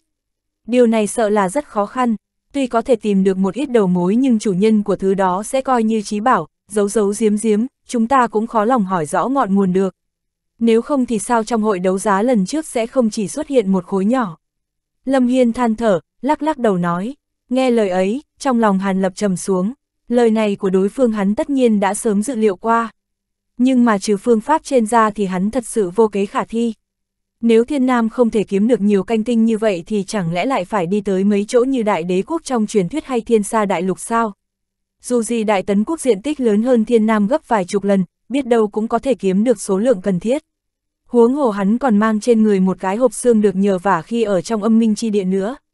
Trong đó ghi chú phương pháp luyện chế hàng linh phù, nếu phải đi đến Đại Tấn Quốc thì hắn phải làm một chuyến qua thiên phù môn để giao trả theo như lời hứa. Hàn Lập sau khi ngẫm nghĩ, trong lòng có chút phiền muộn. Thấy Hàn Lập hiện lên vẻ do dự, Lữ Lạc cũng không nhịn được khuyên nhủ. Hay sư đệ đổi điều kiện khác đi, loại tài liệu canh tinh đó thật sự là vật khả ngộ bất khả cầu. Hàn Lập nghe thế liền nhíu mày, sau khi ngẫm nghĩ liền lắc lắc đầu nói. Mặc kệ thế nào, canh tinh với tại hạ vô cùng trọng yếu. Dù chỉ là hy vọng xa vời nhưng mong Minh sẽ đáp ứng điều kiện này. Nói tới đây, sắc mặt Hàn Lập hiện lên vẻ dứt khoát. Nếu Hàn Đạo Hữu đã kiên trì như vậy thì ta sẽ phái đệ tử tận lực trợ giúp nhưng nếu không tìm được thì mong Hàn Đạo Hữu cũng không nên hối hận. Long Hàm tựa hồ đã nhìn ra tâm ý kiên định của Hàn Lập. Hắn cũng không khuyên giải gì nữa mà gật đầu đáp ứng. Dù sao đối với thiên đạo minh việc này chỉ là phái các đệ tử cấp thấp đi tìm kiếm mà thôi, cũng không phải là chuyện gì quá mức khó khăn. Mấy lão già khác lại càng không có ý kiến gì, nhưng nhóm người Long Hàm cảm thấy rằng việc bồi thường như thế quả thật có chút khinh suất, ngay lúc đó liền xuất ra một túi hơn trăm linh thạch bậc trung đưa cho Hàn Lập. Hàn Lập mỉm cười, không chút khách khí thu nhận lấy. Thấy thế chúng tu sĩ trong đại điện cũng rất vui vẻ. Tiếp theo mọi người trong thiên đạo minh ngồi nói chuyện với nhau một lát, có người hỏi kỹ càng tình hình chiến đấu khi đó tại Hoàng Long Sơn, bọn họ rất quan tâm đến tu sĩ hắc bảo đột nhiên xuất hiện và thần thông của mộ lan thần sư. Hàn Lập cũng không giấu giếm đem kể rõ ràng sự tình đã trải qua. Nếu có liên quan đến phương diên pháp bảo và công pháp của mình, Hàn Lập tất nhiên sẽ nói sơ qua mà thôi. Nhóm người Long Hàm cũng không dám phạm vào đại kỵ của tu sĩ mà hỏi thêm về chuyện thần thông của Hàn Lập. Bất qua khi nghe thấy Hàn Lập bảo rằng hắn nghi ngờ bọn tu sĩ hắc bào kia không phải là di loại, cũng chẳng phải là yêu quỷ mà chỉ do tu luyện một loại ma công nào đó thì chân mày của Long Hàm không khỏi nhướn lên. Sau đó Hàn Lập ngồi lại thêm nửa ngày nữa rồi mới cáo từ ra về. Ngay lúc Hàn Lập và Lữ Lạc vừa mới đi khỏi đại điện thì một đạo truyền âm phù đã bay tới tay của Lữ Lạc. Lữ Lạc sau khi xem xong liền cười khổ nói với Hàn Lập. Ta có việc quan trọng, e rằng không thể bồi tiếp sư đệ được. Sư đệ tự mình đi dạo trong thành cho biết đi, đến buổi tối hai huynh đệ chúng ta sẽ trò chuyện kỹ lưỡng hơn. Sư huynh nếu có việc gì thì xin cứ tự nhiên giải quyết đi. Đệ cũng đang muốn đi xem xét thiên nhất thành này một mình đây. Hàn Lập mỉm cười thiện ý đáp lời. Trong lòng Lữ Lạc nhẹ nhóm, sau khi ôm quyền liền vội vàng rời đi, hóa thành một đạo hào quang bay về phía xa xa. Xem ra hắn đúng là có chuyện khẩn yếu cần phải làm. Hàn Lập nhìn độn quang xa xa của Lữ Lạc, lắc lắc đầu nhưng sau khi ngẫm nghĩ liền gật gật. ngẩng đầu nhìn sắc trời, trong lòng Hàn Lập đánh giá một chút rồi nhấc chân đi đến khu vực trung tâm. Nhưng chỉ đi có vài bước, ánh mắt hắn đột nhiên lóe lên, dừng chân lại. Hắn chậm rãi xoay người, nhìn về phía một cái ngõ nhỏ. Chỉ thấy tại đó có nữ tử họ tống của Bạch Phượng Phong đang cắn đôi môi đỏ mọng, biểu tình có chút do dự. Hàn lập lập tức đưa tay vẫy nàng lại, nữ tử họ tống sau khi trù trừ một lát liền yểu điệu thướt tha đi tới. Tham kiến Hàn sư thúc, vị kiều nữ của Lạc Vân Tông cung kính thi lễ, thanh âm êm tai vang lên động lòng người. Người đã đợi ở đó bao lâu rồi? Hàn lập chắp hai tay sau lưng, nhìn khuôn mặt xinh đẹp của nàng, bình tĩnh hỏi. Dạ, sư điệt giã chờ hơn một canh giờ rồi. Nữ tử họ tống cúi thấp đầu xuống, khẽ trả lời. Xem ra người thật có chuyện muốn nói với ta, tuy nhiên đây không phải là nơi phù hợp, theo ta đi chỗ khác. Ánh mắt Hàn Lập quét xung quanh một cái, lạnh lùng nói. Sau đó hắn không chờ nữ tử này hồi đáp liền không nhanh không chậm đi về phía xa xa. Sau khi do dự không quyết một chút, nữ tử họ tống liền cất bước đi theo. Có chuyện gì thì nói đi, Hàn Lập mang theo nàng đi đến một nơi yên lặng vắng người. Hắn quay người lại, bộ dáng bình thản nói, dạ, là như thế này, có người muốn sư điệt chuyển một phong thư cho sư thúc và người ta cũng muốn gặp mặt người nữa. Sau khi do dự một chút, nữ tử họ tống đưa tay vào trong áo lấy ra một cái ngọc giả dâng lên cho Hàn Lập. Thư, trong mắt Hàn Lập lộ ra vẻ kinh ngạc, sau khi dùng thần thức đảo qua liền đưa tay tiếp lấy. Tuy nhiên hắn không lập tức đưa thần thức vào trong mà ngược lại nhìn chồng chọc nữ tử họ tống hỏi. Người nào đã giao cho ngươi? Chắc ngươi phải biết chứ? Dạ, là một vị hảo hữu của sư điệt, vị đó nói là có biết sư thúc cho nên mới nhờ sư điệt làm chuyện này. Nữ tử họ tống sau khi giao ngọc giản xong, thần sắc cực kỳ chấn định trả lời. Biết ta, đôi mắt hàn lập nhíu lại, thần sắc khẽ động, hắn ngẫm nghĩ rồi đưa ngọc giản lên chán, sắc mặt không chút biểu tình. Một lát sau trên mặt hàn lập lộ ra một tia cổ quái. Hắn bỏ ngọc giản ra, nhìn nhìn nữ tử họ tống rồi hòa hoãn hỏi. Các nàng giờ đang ở đâu? Dẫn đường cho ta sư thúc thật sự biết vị hảo hữu của sư điệt sao. Lần này đến lượt nữ tử họ tống chấp chấp đôi mắt xinh đẹp, có chút kinh ngạc hỏi. Không sai, đúng là có chút giao tình, không tưởng được tống sư điệt lại biết nàng, thân sắc hàn lập như thường nói. Đệ tử mới kết bạn với nàng chỉ trong vòng 2 năm nay mà thôi. Đệ tử nghĩ nàng ta nói biết sư thúc chỉ là chuyện đùa nhưng không nghĩ lại hoàn toàn là sự thật. Hiện tại đệ tử đã an bài cho nàng ở một chỗ không người bên ngoài thành rồi. Đệ tử sẽ đưa sư thúc đi, Tinh thần của nữ tử họ tống trở nên phấn chấn, mỉm cười tự nhiên, nhất thời lộ ra vẻ mị hoặc vô cùng. Tiếp theo Hàn Lập và nàng một trước một sau đi về phía cổng thành. Sau khi ra khỏi thiên nhất thành, dưới sự dẫn đường của nữ tử họ tống, hai người dùng độn quang bay về phía nam. Sau khi phi hành được một đoạn khoảng vài chục dặm đến trước một sơn cốc không người, cả hai liền hạ xuống. Lối vào sơn cốc này bị một mảng sương mù màu trắng bao phủ vì đã có người thi triển chướng nhãn thuật nho nhỏ. Nữ tử họ Tống không nói hai lời, tay nhấc lên, không biết từ đâu lấy ra một cái lệnh bài. Một đạo hào quang bay vào bạch vụ, sau khi vũ khí cuồn cuộn chuyển động đã dần hiện ra một con đường nhỏ màu xanh biếc. Sư thúc, xin mời, nữ tử này cung kính nhường Hàn Lập đi trước. Với thần thức hôm nay của hắn thì dù chưa tiến vào nhưng toàn bộ tình hình bên trong đều đã rơi vào trong mắt hắn. Trên mặt Hàn Lập lộ suốt một tia mỉm cười, thuận theo con đường nhỏ đi tới. Cái sơn cốc xinh đẹp này không lớn, diện tích chỉ rộng khoảng hơn trăm trượng. Trong cốc ngoài mấy gian thạch ốc thì chẳng có gì khác, sau khi liếc qua ai ai cũng biết đây là một nơi tạm thời trú chân mà thôi. Tuy nhiên xung quanh đều được dọn dẹp sạch sẽ, không có một chút cỏ dại. Có lẽ do cử động phá cấm chế của nữ tử họ Tống đã làm kinh động người ở bên trong. Một thân ảnh thướt tha loáng lên, một nữ tử xinh đẹp mặc áo vàng xuất hiện tại cửa của một gian thạch ốc. Nữ tử này sau khi nhìn thấy Hàn Lập đang đi tới thì thần sắc hiện lên vẻ phức tạp, sau khi do dự liền mỉm cười vui vẻ đi tới thi lễ với Hàn Lập, đôi môi xinh đẹp hé ra. Mai ngưng ra mắt Hàn tiền bối, cung hỉ tiền bối tiến dai vào nguyên anh kỳ, thanh âm nữ tử này ôn nhu, êm ái nhưng trong lời nói lại mang theo một tia u oán khó nói nên lời. Hàn Lập nghe vậy liền lộ ra vẻ xấu hổ, chỉ có thể cười khổ một tiếng rồi chậm rãi nói. Mai cô nương, cách biệt mấy năm nhưng phong thái của cô nương vẫn như trước. Đồng thời tu vi của cô nương cũng đã đạt đến trúc cơ kỳ đỉnh phong, không lâu sau sẽ tiến nhập vào cảnh giới giả đan mà thôi. chương 749, Linh Trúc Quả và Tạo Hóa Đan Nữ tử xinh đẹp xuất hiện trước mặt Hàn Lập lúc này chính là Mai Ngưng người đã cùng đến Thiên Nam với hắn. Dung nhan bây giờ của nàng so với mấy năm trước còn động lòng người hơn rất nhiều. Vãn bối có thể có cảnh giới như hôm nay đều nhờ vào đại ân tặng đan dược của tiền bối lúc trước cả. Sau khi biểu tình u oán của Mai ngưng lóe lên rồi biến mất, trên mặt lộ xuất vẻ cung kính nói lời cảm ơn. Hàn Lập hiện tại đã có tu vi nguyên anh kỳ, thân phận so với lúc trước thực sự đã khác xa. Mai muội muội, Tử Linh đạo hữu cũng ở trong hay sao? Lúc này nữ tử họ Tống liền từ phía sau lưng Hàn Lập đi ra, cực kỳ thân thiết hỏi. Điều đó khiến cho Hàn Lập có chút ngoài ý muốn, liếc mắt dò xét một cái. Tống tiền bối, tử linh tỷ tỷ đang tu luyện ở trong thạch ốc, tuy nhiên sẽ nhanh chóng thu công đi ra mà thôi. Hai vị trước tiên hãy đến phòng vãn bối ngồi chơi đã. Mai ngưng không dám chậm trễ, vẻ mặt mang theo ý xin lỗi nói. Hàn Lập nghe vậy cũng không nói gì bởi vì sau khi thần thức hắn đảo qua, đã xác định được có người ngồi đả tọa ở trong một gian thạch ốc, linh khí chuyển động, đích xác là đang trong quá trình thu công.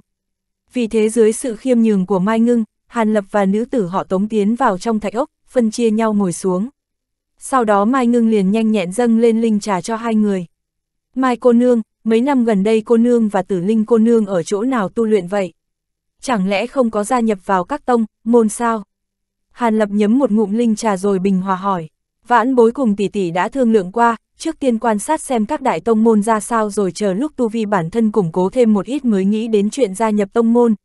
Cho nên mấy năm nay đã đi khắp nơi xem xét, dù sao tình hình của thiên nam so với chỗ lúc trước còn loạn lạc hơn một chút. Mai ngưng khoanh tay đứng bên cạnh Hàn Lập, cúi đầu đáp lời. Thấy Mai ngưng không có ý tứ giấu giếm mình là tu sĩ ngoại lai ngay cả khi có mặt nữ tử họ tống, Hàn Lập liền ngẩn ra nhưng hắn lập tức minh bạch rằng vị sư điệt của mình hơn phân nửa là có biết sự tình loạn tinh hải.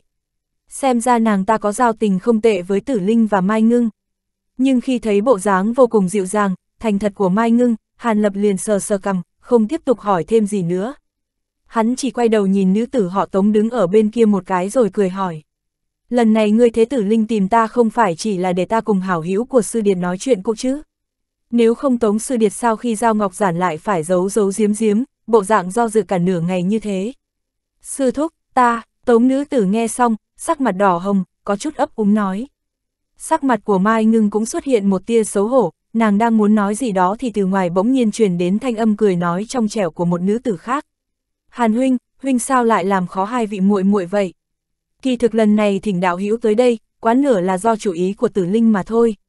Lời vừa mới dứt, ở cửa vào đã xuất hiện một nữ tử áo trắng dung mạo như tiên.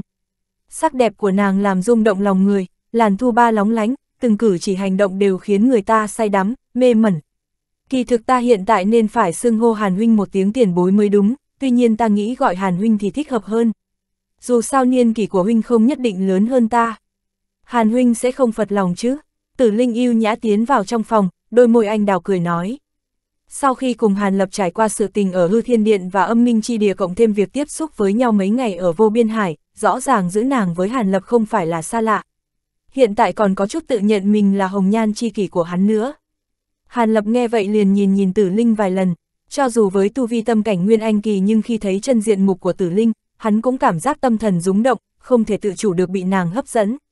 Đại khái như sách vở đã nói hòa quốc hương dân chính là chỉ bậc tuyệt sắc giai nhân trước mặt hắn bây giờ đây thậm chí nếu so sánh về mặt tư sắc thì cho dù Nam Cung Uyển người không thể thay thế trong lòng hắn cũng phải kém nàng ta một bậc. Đương nhiên khí chất thanh lãnh của Nam Cung Uyển cùng với sự kiều diễm vũ nghị của Tử Linh là hai loại phong tình bất đồng, không thể so sánh với nhau được. Tử Linh cô nương muốn gọi thế nào cũng được cả, tuy nhiên nếu cô nương dùng dung nhan tuyệt sắc này đi ra ngoài, chỉ sợ sẽ lập tức làm cho thiên nam rúng động. Nhưng đừng để mấy lão quái vật nhìn thấy, kẻo không bọn họ sẽ cướp đoạt đó. Hàn Lập gặp lại được người quen cũ khi đang ở loạn tinh hải nên muốn trêu đùa nàng ta một chút. Nét cười trên mặt của tử linh không hề biến mất, sau khi quan sát Hàn Lập liền hướng về phía nữ tử họ Tống nói. Lần này thực sự đã làm phiền Tống tỷ tỷ rồi, ta cùng Mai ngưng thực có chút bất tiện khi tiến nhập vào thiên nhất thành. Có gì đâu, việc này cũng có phần tham gia của ta, xuất lực một chút cũng là đúng mà. Sắc mặt của nữ tử này có chút kinh ngạc trả lời. Tuy nàng biết Hàn Lập và Tử Linh là người quen cũ nhưng nhìn xem sự thoải mái tùy ý giữa hai người vẫn cảm thấy ngoài sức tưởng tượng. Hiện tại nàng đối với mục đích của lần hẹn ước này càng tin tưởng thêm ba phần. Lúc này Tử Linh liền mỉm cười nhìn Hàn Lập, nhẹ nhàng nói. Cơ hồ mỗi lần gặp mặt thì tu vi của Hàn Huynh lại tăng cường một bậc, làm cho Tử Linh thật sự kinh hãi. Không biết Hàn Huynh tu luyện như thế nào vậy? Ngoài ra danh tiếng của Hàn Huynh hiện tại còn làm cho ta cùng mai muội muội chừng mắt líu lưỡi. Bên ngoài đồn rằng thực lực của Hàn Huynh thậm chí có thể so sánh với tu sĩ Nguyên Anh Trung Kỳ, thần thông vô cùng to lớn. Không biết điều này là thực hay giả. Sau khi hỏi xong, tử linh mỉm cười mà như không, chăm chú nhìn Hàn Lập, trong mắt ẩn hiện một tia chờ đợi hồi đáp. Trong lòng Hàn Lập khẽ động nhưng sau khi suy nghĩ liền không trực tiếp trả lời mà ngược lại nhìn ra nhân tuyệt sắc trước mặt hỏi. Không biết tử linh cô nương vừa gặp mặt đã muốn biết thực lực của ta là sao? Có chăng đã quá nóng lòng rồi không? Trước tiên hãy nói mục đích tìm hàn mỗ đã. Tại hạ rất muốn nghe rõ ràng một chút rồi sau đó hãy nói đến những việc khác. Bộ dáng hàn lập không nhanh không chậm, bình tĩnh nói. Vừa nghe xong những lời đó, đôi mắt xinh đẹp của tử linh chấp chấp, có chút xấu hổ đáp lời. Ta thật là có chút nóng vội, tuy nhiên điều này cũng khó trách vì việc sắp tới quan hệ trọng đại, nhất định phải có tu sĩ Nguyên Anh Trung Kỳ mới có khả năng thành công. Sự việc trọng đại, đến cùng là việc gì mà cần hàn mỗ xuất thủ, tử linh cô nương không ngại nói rõ ràng chứ. Ánh mắt của hàn lập chấp động vài cái, sau khi thu liếm bộ dáng tươi cười, lãnh đạm hỏi. Xem ra không cần ta nói, hàn huynh cũng đã đoán được vài phần. Mấy người chúng ta đích xác muốn tìm hàn huynh để hợp tác. Tuy nhiên trước tiên ta muốn hỏi hàn huynh một chút, có phải không lâu trước đây huynh cùng với mấy lão quái nguyên anh kỳ đi mộ lan thảo nguyên và thu được di vật của thương khôn thượng nhân đúng không?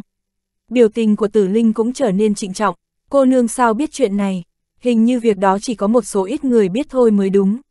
Sắc mặt hàn lập khẽ biến, có chút ngoài ý muốn. Sự việc đó là do chúng ta thu được từ miệng của một tên tu sĩ quỷ linh môn. Hắn ta là hậu nhân của một vị trưởng lão nắm quyền trong quỷ linh môn, sau khi vô tình nhìn được chân dung của tử linh tỷ tỷ, thần hồn liền điên đảo.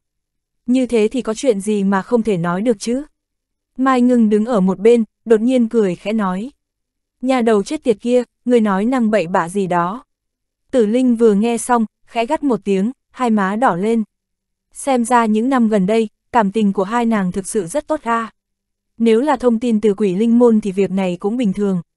Hàn Lập sau khi nghe rõ, gật gật đầu, thần sắc nghi hoặc đã mất đi hơn phân nửa. Nghĩ không ra Hàn Huynh sau khi tiến giai lên Nguyên Anh Kỳ vẫn cẩn thận như hồi xưa. Đôi mắt xinh đẹp của tử linh khẽ động, liếc Hàn Lập một cái, dịu dàng nói. Ta chỉ vừa mới ngưng kết Nguyên Anh, tấm thân cũng chẳng phải bất tử. Nên cẩn thận thì phải cẩn thận chứ. Tuy nhiên việc Hàn Mỗ đi mộ Lan Thảo Nguyên tìm bảo vật thì có liên quan gì đến việc mọi người tìm Hàn Mỗ này chứ? Chẳng lẽ các ngươi lấy được bí mật gì từ tay của quỷ linh môn hay sao? Hàn Lập có chút đăm chiêu hỏi, sư thúc quả thực sáng suốt, vì hệ này đích xác liên quan đến một bảo vật ở trong trụy ma cốc. Tên đệ tử quỷ linh môn kia trong lúc vô ý đã để lộ trước mặt ba người nên mọi người mới biết được. Nữ tử họ tống ban đầu khi đối mặt với Hàn Lập vẫn có chút không tự nhiên nhưng thấy hắn cực kỳ hòa nhã với hai người kia nên tự nhiên hơn, lúc này nói chen vào. Trụy ma cốc, ta nhớ là chỉ có một mình thương khôn thượng nhân là sống sót đi ra thôi mà. Quỷ linh môn làm sao biết trong cốc có bảo vật gì. Không phải các người bị lừa đó chứ. Hàn lập ngẩn ra, tiếp theo sắc mặt cổ quái hỏi. Chắc chắn không, ba người chúng ta lúc đó vô cùng tò mò, đã liên thủ sử dụng huyễn thuật, không những biết được tên của bảo vật đó mà còn hiểu được đại khái vị trí của nó. Về phần quỷ linh môn vì sao biết được thì tên kia cũng không rõ. Tuy nhiên sự tình này tám, chín phần không phải là giả. Đôi mắt xinh đẹp của tử linh phát sáng, nói, cho dù việc đó là thật thì cuối cùng bảo vật đó là gì mà khiến cho ba người động tâm như vậy. Không có khả năng là cổ bảo bình thường chứ. Hàn lập nhíu nhí mày, rút cuộc hỏi đến chỗ mấu chốt. Hàn sư thúc đã từng nghe nói đến linh trúc quả hay chưa? Nghe thế, ba người liền liếc mắt nhìn nhau, sau đó nữ tử họ tống mới ngưng trọng hỏi Hàn lập một câu. Sao, linh trúc quả hả?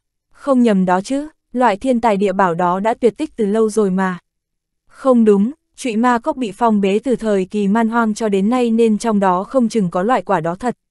Thân sắc Hàn Lập từ đầu vẫn thản nhiên nhưng lúc này đã biến đổi, cả kinh hỏi, thậm chí có thể nói còn có chút kích động. Xem ra Hàn Huynh biết không ít về loại quả đó, vậy chắc hẳn phải biết tạo hóa đan luyện chế từ nó. Theo truyền thuyết, tu sĩ trong suốt cuộc đời chỉ có thể phục dụng tạo hóa đan một lần, đồng thời phải có tu vi dưới hóa thần kỳ thì hiệu quả đối với việc đột phá bình cảnh là rất rõ ràng. Có người nói sau khi phục dụng, trong một đoạn thời gian thần thức của tu sĩ sẽ bị dược lực thôi thúc, biến hóa lên một tầng cảnh giới khó có thể tưởng tượng được. Tuy nhiên việc cảm thụ này không cách nào nói rõ, thậm chí mỗi cá nhân đều khác nhau nhưng sau đó tất cả tu sĩ đều đột phá bình cảnh là việc có thực. Có rất nhiều cổ thư ghi chép việc này, nếu không loại linh đan đó sao có đại danh đỉnh đỉnh và lưu truyền cho đến ngày hôm nay. Đáng tiếc chủ dược luyện chế tạo hóa đan cho dù tại thời kỳ man hoang cũng là việc khả ngộ bất khả cầu. Ngoài ra do không có phương thuốc nên từ sau thời kỳ thượng cổ cũng chẳng có ai luyện chế được. Tử Linh cố gắng bình tĩnh giảng giải, nữ tử họ Tống cùng Mai Ngưng tuy đã sớm biết nhưng hiện tại nghe Tử Linh đề cập đến tạo hóa đan, trong mắt cũng nhịn không được lộ suất vẻ hưng phấn. Đặc biệt là Mai Ngưng, nếu có một viên linh đan loại đó thì xác suất kết đan của nàng chắc chắn sẽ nắm chắc hơn rất nhiều. Nhưng lúc này thần sắc kích động trên mặt Hàn Lập lại từ từ biến mất, hắn bắt đầu trở nên trầm ngâm. Sau khi suy ngẫm kỹ càng, Hàn Lập mới bình tĩnh hỏi. Nếu nói trụy ma cốc có loại linh quả đó thì việc quỷ linh môn tốn hao tài của để lôi kéo các tu sĩ khác tầm bảo, đồng thời còn muốn diệt sát nam lũng hầu để đoạt di vật của thương khôn thượng nhân cũng có thể lý giải được. Tuy nhiên ta còn có mấy chỗ khó hiểu, cần ba người giải đáp một chút. Nếu không cho dù linh trúc quả có dụ người đi chăng nữa, hàn mỗ cũng sẽ không mạo hiểm đem tính mạng ra đùa chơi đâu. chương 750, định nghị, hàn huynh có gì khó hiểu xin cứ nói ra, việc này không phải trò đùa, có thể chúng ta đích xác có sơ hở, không suy nghĩ chu toàn. Tử Linh thấy hắn biết chuyện linh trúc quả và tạo hóa đan mà lại có thể tỉnh táo như thế nên rất khâm phục. Dù ta có đi mộ lan thảo nguyên một chuyến nhưng tại sao lại tìm ta hợp tác? Phải biết rằng, người có khả năng biết được phương pháp tiến vào trụy ma cốc chính là Nam Lũng Hầu mới đúng. Hay là ba người cũng biết phương pháp nhập cốc? Hàn Lập sờ sờ cầm, trầm ngâm hỏi. Tất nhiên chúng ta bia Nam Lũng Hầu đích xác nắm trong tay phương pháp nhập cốc. Nhưng với tính cách của hắn thì chúng ta sao dám thổ lộ bí mật này? Còn đối với Hàn Huynh thì ta với Mai muội đều rất yên tâm. Ta biết đạo hữu không phải là loại người thấy lợi quên nghĩa. Về phần nhập cốc thì chúng ta đã từ miệng của tên đệ tử quỷ linh môn kia biết rằng bọn họ đang nghiên cứu một loại phương pháp khác. Cụ thể tình hình ra sao thì tên đó chẳng rõ, nhưng lần ổn định tới đây của trụy ma cốc, quỷ linh môn sẽ hành động. Đến khi đó chúng ta nghe ngóng xem rồi hỗn nhập cùng tiến vào, chắc chắn sẽ không khó. Còn nơi có linh trúc quả nghe nói hoàn cảnh vô cùng ác liệt, không có đại thần thông thì căn bản không thể đến được. Nếu Hàn Huynh thấy tu vi của mình không đủ thì quên đi vậy. Dù sao cho dù nhập cốc an toàn thì trong đó vẫn còn có nguy hiểm trùng trùng, thực sự là hỏa phúc khó lường. Tử Linh khi nói đến đó, thân sắc chợt trở nên ngập ngừng. Quỷ Linh môn cũng có phương pháp nhập cốc, Hàn mỗ lần đầu nghe được đó. Bất qua nghe khẩu khí của ba người thì hiện tại đều rất mơ hồ, không có tin tức xác thực. Vậy đi, cho đến lúc khe nứt không gian trong trụy ma cốc ổn định còn mấy năm nữa, lợi dụng thời gian đó ba người hãy đi thám thính rõ ràng, xem xem trong trụy ma cốc có linh trúc quả hay không. Vì tạo hóa đan, tại hạ có thể sẽ mạo hiểm một lần. Về phần tu vi, mọi người không cần lo lắng, nếu ta không đi được thì hơn phân nửa tu sĩ Nguyên Anh Trung Kỳ cũng không đi được đâu. Hàn Lập sau khi trầm ngâm một lúc lâu, mới thở dài một hơi nói. Hắn không đem sự tình liên hệ với Nam Lũng Hầu nói ra. Đối mặt với trụy ma cốc, loại hung địa xương danh đệ nhất ở thiên nam, cho dù có linh trúc quả, hắn cũng phải suy xét, có thêm phương pháp nhập cốc của quỷ linh môn thì an toàn hơn một chút. Nếu thế thì việc gì cần phải nói rõ với ba người kia sự tình về Nam Lũng Hầu chứ? Thấy Hàn Lập không đáp ứng ngay, Tử Linh cũng không buồn giàu mà ngược lại còn vui mừng. Nàng biết rằng với tính cẩn thận của Hàn Lập thì nếu nói ra những lời kia, trên cơ bản đã chấp nhận. Hơn nửa nghe khẩu khí của Hàn Lập, dường như tu vi của hắn đúng như lời đồn, thần thông hiện tại vô cùng to lớn. Vậy xác suất có được linh trúc quả lại nhiều hơn một phần. Vì thế nàng mới mỉm cười nói, kỳ thực nóng lòng muốn tìm Hàn Huynh cũng là nghĩ nếu không tìm được trợ thủ đắc lực thì tất cả đều công cốc, sự tình tiếp sau đó không cần phí sức tìm hiểu nữa. Nhưng hiện tại có lời hứa của Hàn Huynh, mấy người chúng ta đã yên tâm. Sau này sẽ thám thính rõ mọi việc, dù sao tỉ muội chúng ta đều muốn nhập cốc nên không thể không lo lắng cho tính mạng của mình được. Sao, ba người các người cũng muốn nhập cốc, nghe xong lời đó, Hàn Lập giật mình, sắc mặt tràn đầy vẻ kinh ngạc. Hàn huynh nghĩ chúng ta muốn vào hay sao? Cũng là sự tình bị bức bách mà thôi. Đại bộ phận cổ thử đều nói đến sự kỳ diệu của linh trúc quả nhưng rất ít điển tịch đề cập đến việc linh trúc quả nếu đã hái xuống thì không có cách nào bảo tồn. Nhất định trong vòng nửa ngày phải nhập đỉnh luyện đan, nếu qua hơn nửa ngày thì dược lực của nó sẽ đại giảm, quá ba ngày thì không còn chút gì. Càng khó khăn chính là tạo hóa đan cũng có hạn chế như thế.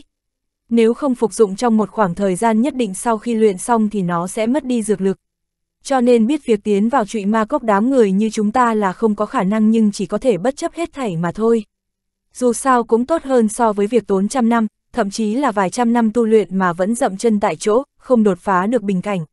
Tử Linh cười khổ nói, Linh Trúc quả còn có hạn chế thế ư, ta đọc qua không biết bao nhiêu điển tịch nhưng chưa bao giờ nghe nói đến việc đó cả. Hàn lập nhíu mày hỏi, Hàn sư thúc, ở đây có một bản cổ tịch bí mật truyền thừa của tống gia tổ nhà sư điệt. Sư Điệt đã phục chế lại một phần trong đó. Xin mời sư thúc xem sẽ rõ.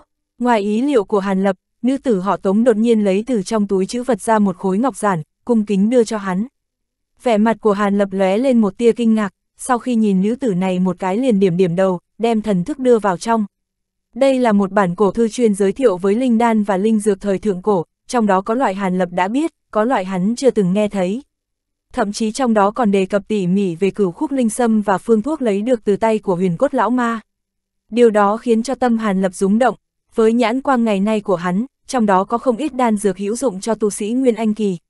Tuy nhiên tài liệu để luyện chế cơ hồ đều là thượng cổ linh dược khả ngộ bất khả cầu. Thế nhưng biết trước cũng hay hơn, nếu không lỡ sau này có được linh dược cũng không biết cách nào sử dụng.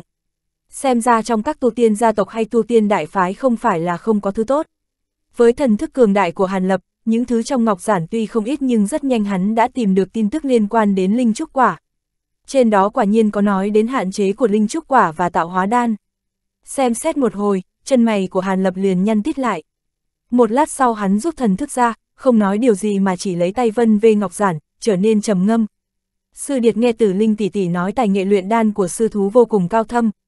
Bản cổ tịch này đối với tống gia mà nói thì như gân gà, bỏ thì thương, phương thì tội. Tuy phương thuốc cổ không ít nhưng mỗi loại nguyên liệu đều không phải là thứ mà tống gia có thể thu thập được. Sư thúc nếu không chê thì xin cứ thu nhận lấy coi như là thù lao nhờ sư thúc ra tay lần này vậy. Nữ tử họ tống cực kỳ lanh lợi đề nghị. Hàn Lập nghe vậy liền ngẩn ra nhưng sau đó nhìn nàng vô cùng thâm ý, cười cười. Hắn sau khi ngẫm nghi liền ung dung nói, Hàn mỗ bình sinh chưa bao giờ chiếm tiện nghi của ai. Nếu trong trụy ma cốc thực sự có linh trúc quả thì ta cũng sẽ được lợi không ít. Căn bản không cần báo đáp gì cả, hơn phân nửa sẽ tự mình xuất thủ. Tuy nhiên bản cổ thư này có chỗ hữu dụng đối với ta nên ta sẽ dùng một bình đan dược dùng để tinh tiến tu vi trao đổi. Bình đan dược này hiện tại rất thích hợp với cảnh giới của ngươi. Sau khi nói xong, Hàn Lập đưa tay vỗ vài túi chữ vật, lấy ra một cái bình nhỏ màu xanh biếc, trực tiếp đưa cho nữ tử họ Tống. Nữ tử này liền đưa tay tiếp lấy nhưng trên mặt vẫn hiện lên vẻ do dự, bộ dáng có chút lúng ta lúng túng. Tử Linh ở một bên thấy vậy liền mỉm cười nói, nếu Hàn Huynh đã cấp cho thì Tống tỷ tỷ cứ cầm lấy đi. Luyện đan thuật của Hàn Huynh không phải là loại xoàng, trong bình hơn phân nửa là linh đan dùng yêu đan cao cấp luyện thành. Tuyệt đối có thể khiến cho tu vi của tỷ tỷ tăng thêm một bậc. Vụ làm ăn thực không lỗ đâu, tử Linh cười nói, nghe xong lời đó, sắc mặt của nữ tử họ Tống liền hiện lên sự vui mừng, sau khi hướng Hàn Lập cảm tạ thì cẩn thận thu lấy bình đan dược vào túi chữ vật.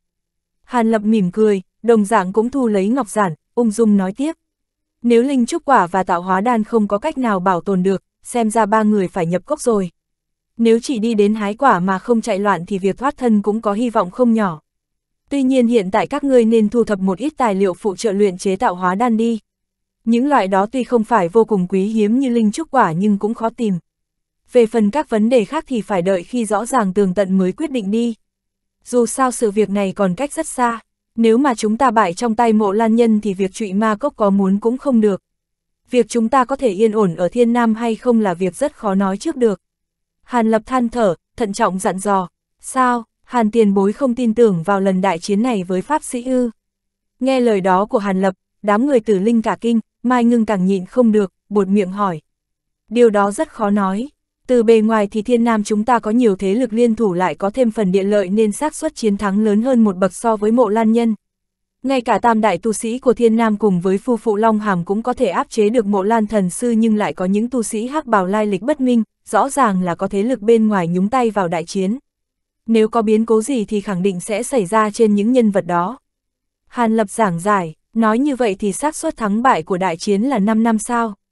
Thần sắc của tử linh cũng trở nên ngưng trọng, có thể nói như thế, tuy nhiên khả năng lớn nhất chính là, ánh mắt của Hàn Lập lóe lên mấy cái, trong miệng thì thầm nói, thanh âm nhỏ đến mức không thể nghe rõ. Điều này khiến cho ba nữ tử ngẩn ra, được rồi, không nói việc đó nữa, trước khi khai chiến thực sự thì ai cũng không rõ ràng cả.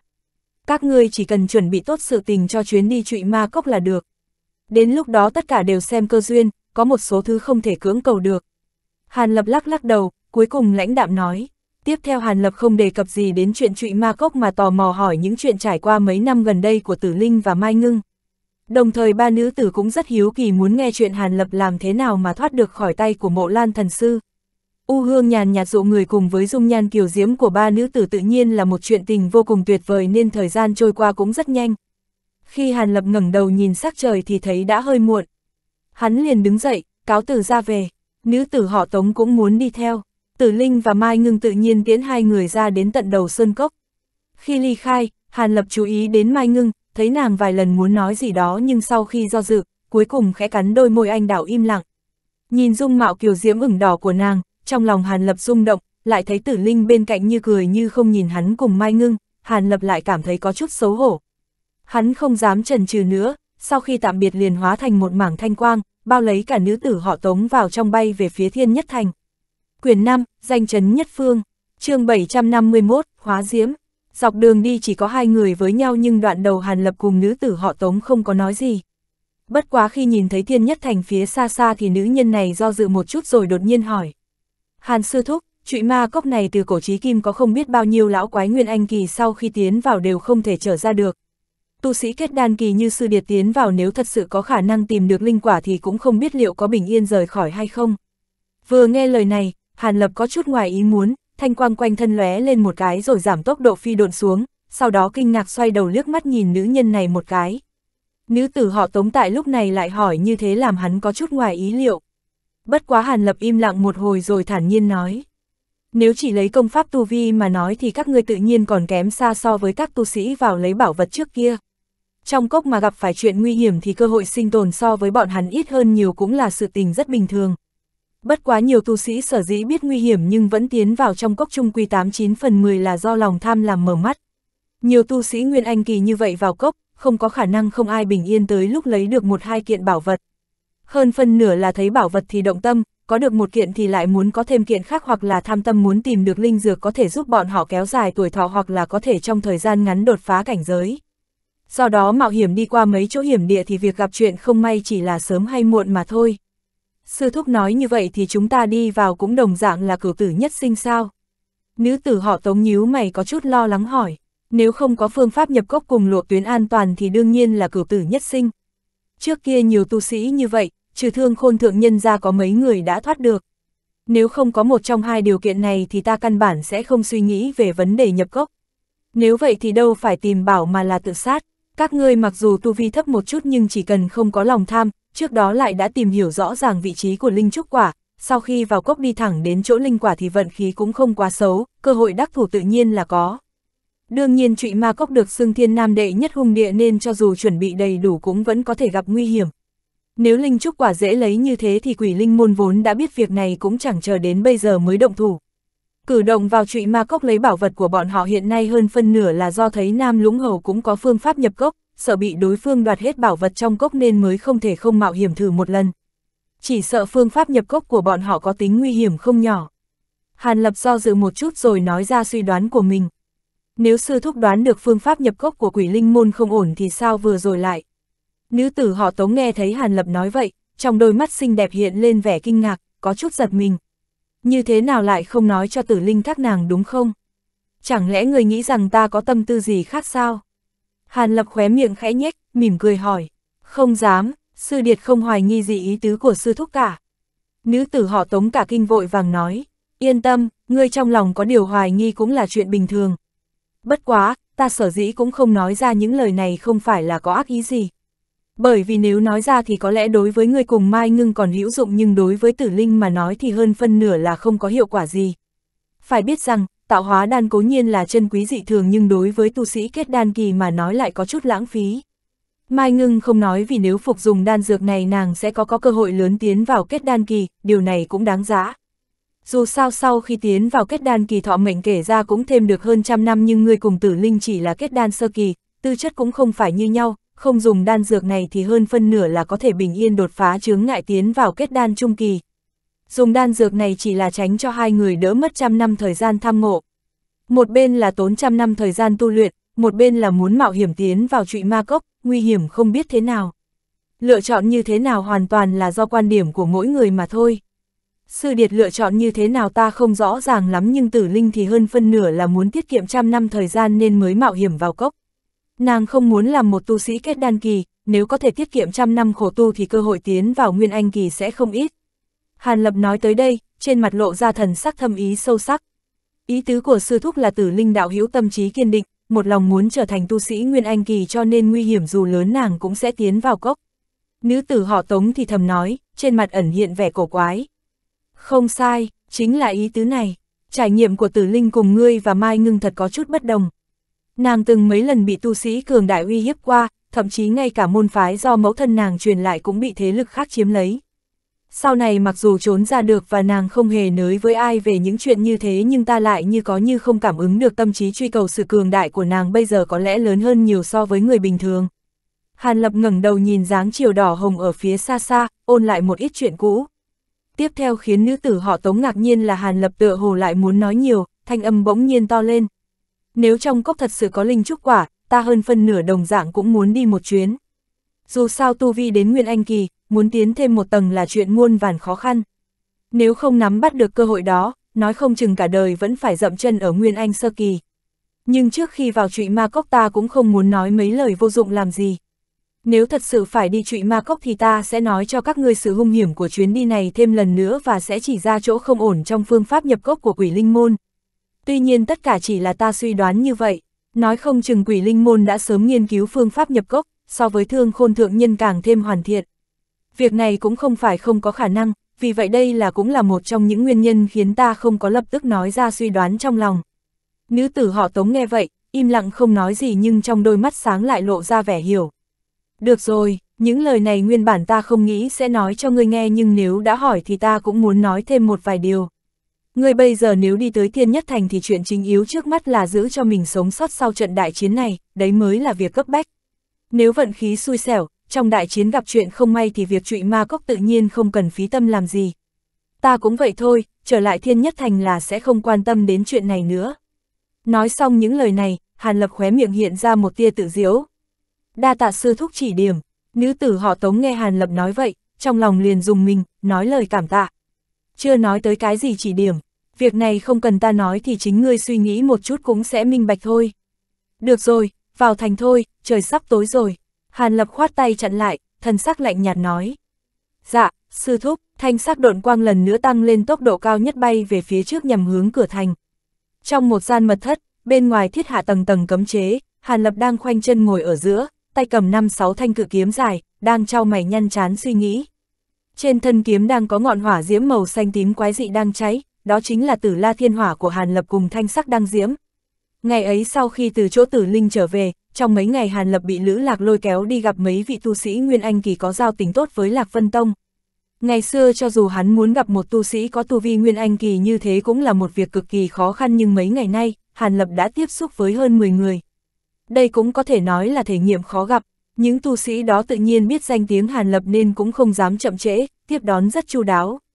Thậm chí trong đó có mấy vị, Hàn Lập thấy trò chuyện có chút hợp ý. Nhưng sau đó Hàn Lập lập tức tìm một tính thất, bắt đầu xử lý hậu hoạn của cuộc chiến Hoàng Long Sơn ngày đó. Đăng diếm kia Thủy Trung vẫn ở bám trên thanh trúc phong vân kiếm thiêu đốt không ngừng. Thanh trúc phong vân kiếm vẫn vô sự cho tới hôm nay tất cả đều nhờ vào tử la thiên hỏa áp chế. Thanh sắc đăng diếm này không biết là loại ma diếm gì, uy lực kinh người không dưới tử la thiên hỏa của Hàn Lập. Hiện nay mặc dù bị Hàn Lập dựa vào số lượng miến cưỡng chế trụ nhưng làm thế nào để luyện hóa nó thì đúng là một chuyện đau đầu. Nếu không giải trừ hỏa diễm này thì chẳng những thanh trúc phong vân kiếm không có cách nào vận dụng mà cả kiềm lam băng diễm cùng tử la thiên hỏa cũng không có cách nào dễ dàng thi triển tấn công địch. Điều này khiến Hàn Lập không thể nào chịu đựng được. Hiện giờ ánh mắt Hàn Lập chấp động nhìn chằm chằm vào mấy thanh kiếm, suy ngẫm trong chốc lát. Một lát sau, hắn ném thanh cự kiếm vào không trung, nhấc tay đánh ra một đạo pháp quyết màu xanh lên nó. Nhất thời thanh cự kiếm bay quanh một vòng, phát ra tiếng vù vù và hóa thành hơn 10 khẩu phi kiếm nhỏ. Thần niệm Hàn Lập khẽ động, đại bộ phận phi kiếm hóa thành thanh mang trực tiếp bắn vào trong cơ thể, chỉ có một thanh phi kiếm xoay ngang chậm rãi hạ xuống trước mặt Hàn Lập. Hàn Lập nhìn hỏa diễm xanh tím trên thân kiếm, hai mắt nhíu lại rồi đột nhiên hé miệng phun ra một đạo hỏa diễm màu tím trực tiếp lên thanh phi kiếm. Nhất thời tử diễm trên thân kiếm đại thịnh, áp chế thanh diễm. Sau đó Hàn Lập sử dụng pháp quyết thúc dục tử quang bức thanh diễm ra khỏi phi kiếm. Một lúc sau đã tử diễm đã chậm rãi dồn thanh diễm đến đầu kiếm, hóa thành một đoàn thanh quanh nhỏ bằng hạt đậu. Thấy vậy sắc mặt Hàn Lập liền lộ ra vẻ ngưng trọng. Hắn hít sâu một hơi, mười ngón tay bắn ra không ngừng, từng đạo pháp quyết màu sắc khác nhau đánh vào thân kiếm. Nhất thời uy thế của tử diễm trên thân kiếm dưới sự thúc giục của pháp quyết tăng lên, hình thành từng làn sóng hung hăng tấn công thanh quang. Thanh diễm tại mũi kiếm chỉ còn lại một điểm đặt chân, lung lay không ngừng, tựa hồ tùy thời có thể tắt ngấm đi. Nhưng một lát sau, điểm thanh quang này lại dần dần khôi phục phát ra ánh sáng chói mắt. Mặc cho tử diễm chèn ép thế nào đi nữa, thanh diễm tựa hồ như được sinh ra ở mũi kiếm, bất tử bất diệt. Hàn lập trong mắt hiện lên một tia lo âu, thôi động pháp quyết trong tay càng nhanh hơn. Lại qua một hồi lâu, mắt thấy tình hình không có chút cải thiện, sắc mặt hắn đã có chút khó coi. Sau khi đánh giá sau tình hình một chút, ánh mắt Hàn Lập lóe lên hàn quang, cánh tay phất lên. Nhất thời năm ngón tay rồi kể cả bàn tay tất cả đều bị bao trùm trong một tầng tử diễm chói mắt. Tiếp theo Hàn Lập không chút khách khí, năm ngón tay hợp lại trực tiếp bóp chặt lấy thanh diễm. chương 752, Lôi Châu, năm ngón tay của Hàn Lập hành động vô cùng chính xác, điểm thanh quang chợt lóe lên rồi bị tử diễm bao vây. Nhưng Hàn Lập chỉ cảm thấy đầu ngón tay chợt mềm nhũn rồi một cỗ lực lượng thật lớn từ điểm thanh diễm truyền ra, năm ngón tay bị kình lực mạnh mẽ đẩy văng ra. Hàn Lập hoảng sợ một trận nhưng tâm niệm nhất động, bàn tay chợt chộp vào hư không một cái, tử diễm trên tay tiếp tục trùm xuống phía dưới. Quang hoa đại thịnh, thanh diễm tiếp tục bị tử quang bao vây vào bên trong. Hàn Lập cánh tay vẫn không nhúc nhích, tử diễm trên năm ngón tay tỏa ra ánh sáng chói mắt, ánh sáng xanh, tím giao hòa biến ảo, lúc mờ lúc tỏ. Sau khi duy trì động tác này liên tục hơn một khắc thời gian, Hàn Lập nhẹ thở dài một hơi rồi tay rung lên, năm ngón tay mở ra, tử diễm trên tay trong nháy mắt biến mất vô tung vô ảnh. Sau đó hắn nhìn thanh diễm vẫn đang trong suốt như cũ, trên mặt lộ ra một tia cười khổ. Loại đăng diễm cổ quái này còn khó chơi hơn so với suy đoán ban đầu của hắn. Tử la cực hỏa mặc dù có thể chống lại nhưng muốn luyện hóa nó thì tựa hồ lực bất tòng tâm. Nghĩ như vậy, Hàn Lập sau khi đánh giá lại tình hình một chút thì nâng tay nhẹ nhàng điểm về phi kiếm trước người. Âm thanh sấm nổ trầm thấp bỗng nhiên vang lên, trên phi kiếm chợt bắn ra một đạo kim hồ chói mắt. Đạo kim hồ này sau khi xuất hiện thì trong nháy mắt nổ tung, hóa thành vô số đạo kim ti nhỏ chụp xuống thanh diễm. Kết quả thanh quang chợt lóe, vô số kim ti kia như đá ném xuống hồ, một đi không trở lại, tất cả đều bị ngọn lửa nhỏ như hạt đậu hấp nạp không còn một mảnh. Rồi lập tức quang hoa màu xanh đại thịnh, thanh diễm đã phình to ra tương đương cỡ quả trứng gà. Thấy tình hình này, Lam Quang ở sâu trong đồng tử Hàn lập chớp động không thôi, hắn đang nhìn cảnh thanh diễm hấp nạp kim hồ chằm chằm, thần sắc âm tình bất định. Yên lặng không biết qua bao lâu, cuối cùng Hàn lập thở vào một hơi, Lam mang trong mắt tiêu tán nhưng trên mặt lại hiện lên vẻ do dự. Một lát sau hắn khẽ lắc đầu, đã xác định chủ ý trong lòng. Hắn hé miệng hướng về phía phi kiếm hút một cái, tử diễm trên thân kiếm trong nháy mắt hóa thành một đạo ánh sáng màu tím bay vào trong cơ thể của Hàn Lập, không còn sót lại gì cả. Không có tử la cực hỏa áp chế, thanh diễm trên thân kiếm bành trướng lên khắp thanh phi kiếm. Vì nó liên quan đến tâm thần nên Hàn Lập kêu lên một tiếng đau đớn, thanh khí trên mặt chợt lóe, hiện ra một tia đau đớn. Nhưng Hàn Lập bất chấp thân thể đau đớn, 10 ngón tay liên tiếp nhắm vào phi kiếm, thanh mang chớp động, hơn 10 đạo kiếm khí rời tay bắn ra. Cũng như kim hồ do ích tà thần lôi biến thành, thanh sắc kiếm khí vừa tiếp xúc với thanh sắc đang diễm thì tất cả đều bị hút vào bên trong, biến mất vô ảnh vô tung. Nhưng Hàn Lập đối với việc này lại như không thấy. Linh lực trong cơ thể vận chuyển không ngừng, từng đạo từng đạo kiếm khí như thiêu thân lao vào lửa, đánh về phía thanh diễm. Pháp lực của hắn tiêu hao một cách nhanh chóng. Thanh diễm sau khi hấp thu rất nhiều kiếm khí thì giống như được bồi bổ, tán phát khí thế cường đại hơn. Không lâu sau hóa thành một quả cầu lửa màu xanh chói mắt, rực cháy ngay trước mặt Hàn Lập. Lúc này, pháp lực trong cơ thể Hàn Lập đã tiêu hao hơn một phần ba. Nhưng nhìn sự bành trướng của hỏa cầu, Hàn Lập ngược lại lại cười rộ lên. Kiếm khí trên tay tạm dừng, hắn đưa tay ngoắc về phía phi kiếm trong thanh diễm một cái. Phốc, một tiếng, cây thanh trúc phong vân kiếm dễ dàng thoát khỏi thanh diễm, sau khi xoay quanh một cái thì bắn vào trong tay Hàn Lập.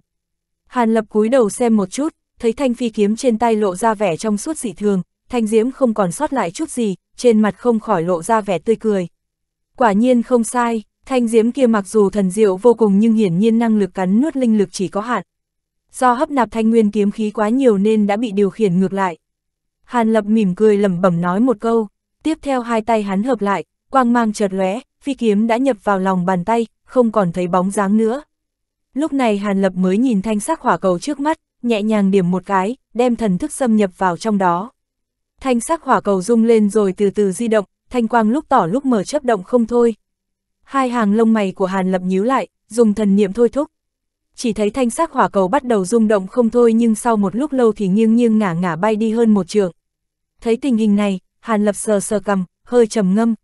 Uy lực của thanh diễm này vô cùng to lớn, nếu bỏ đi thì tự nhiên có chút lãng phí. Lúc này mặc dù nó đã hấp thu nhiều thanh nguyên kiếm khí nên bị hắn miễn cưỡng điều khiển nhưng rõ ràng bởi vì công pháp không đúng nên việc khống chế căn bản không thể như ý. Dù sao loại hỏa diễm này cũng chưa trải qua luyện hóa nên rất khó sai khiến như kiền lam băng diễm cùng tử la cực hỏa được. Hàn lập cao mày, nhìn thanh sắc hỏa cầu chầm chầm đánh giá rồi đột nhiên vươn một tay đặt lên túi chữ vật bên hông. Bạch quang chấp động rồi một khúc xương nhỏ trắng như ngọc cùng một cái tiểu bình màu vàng nhạt đồng thời xuất hiện ở trong tay. Đúng là Ngọc Giản ghi lại công pháp huyền âm kinh và pháp khí mà trước kia hắn đã dùng để hút tinh hồn yêu thú. Hắn mở nắp bình, bên trong bay ra một đoàn hắc khí. Hàn Lập đưa năm ngón tay chộp về phía hắc khí, nhất thời hắc khí bắn tới lòng bàn tay sau đó thần niệm hắn khẽ động, đoàn âm hồn khí này lập tức bắn về phía khúc xương.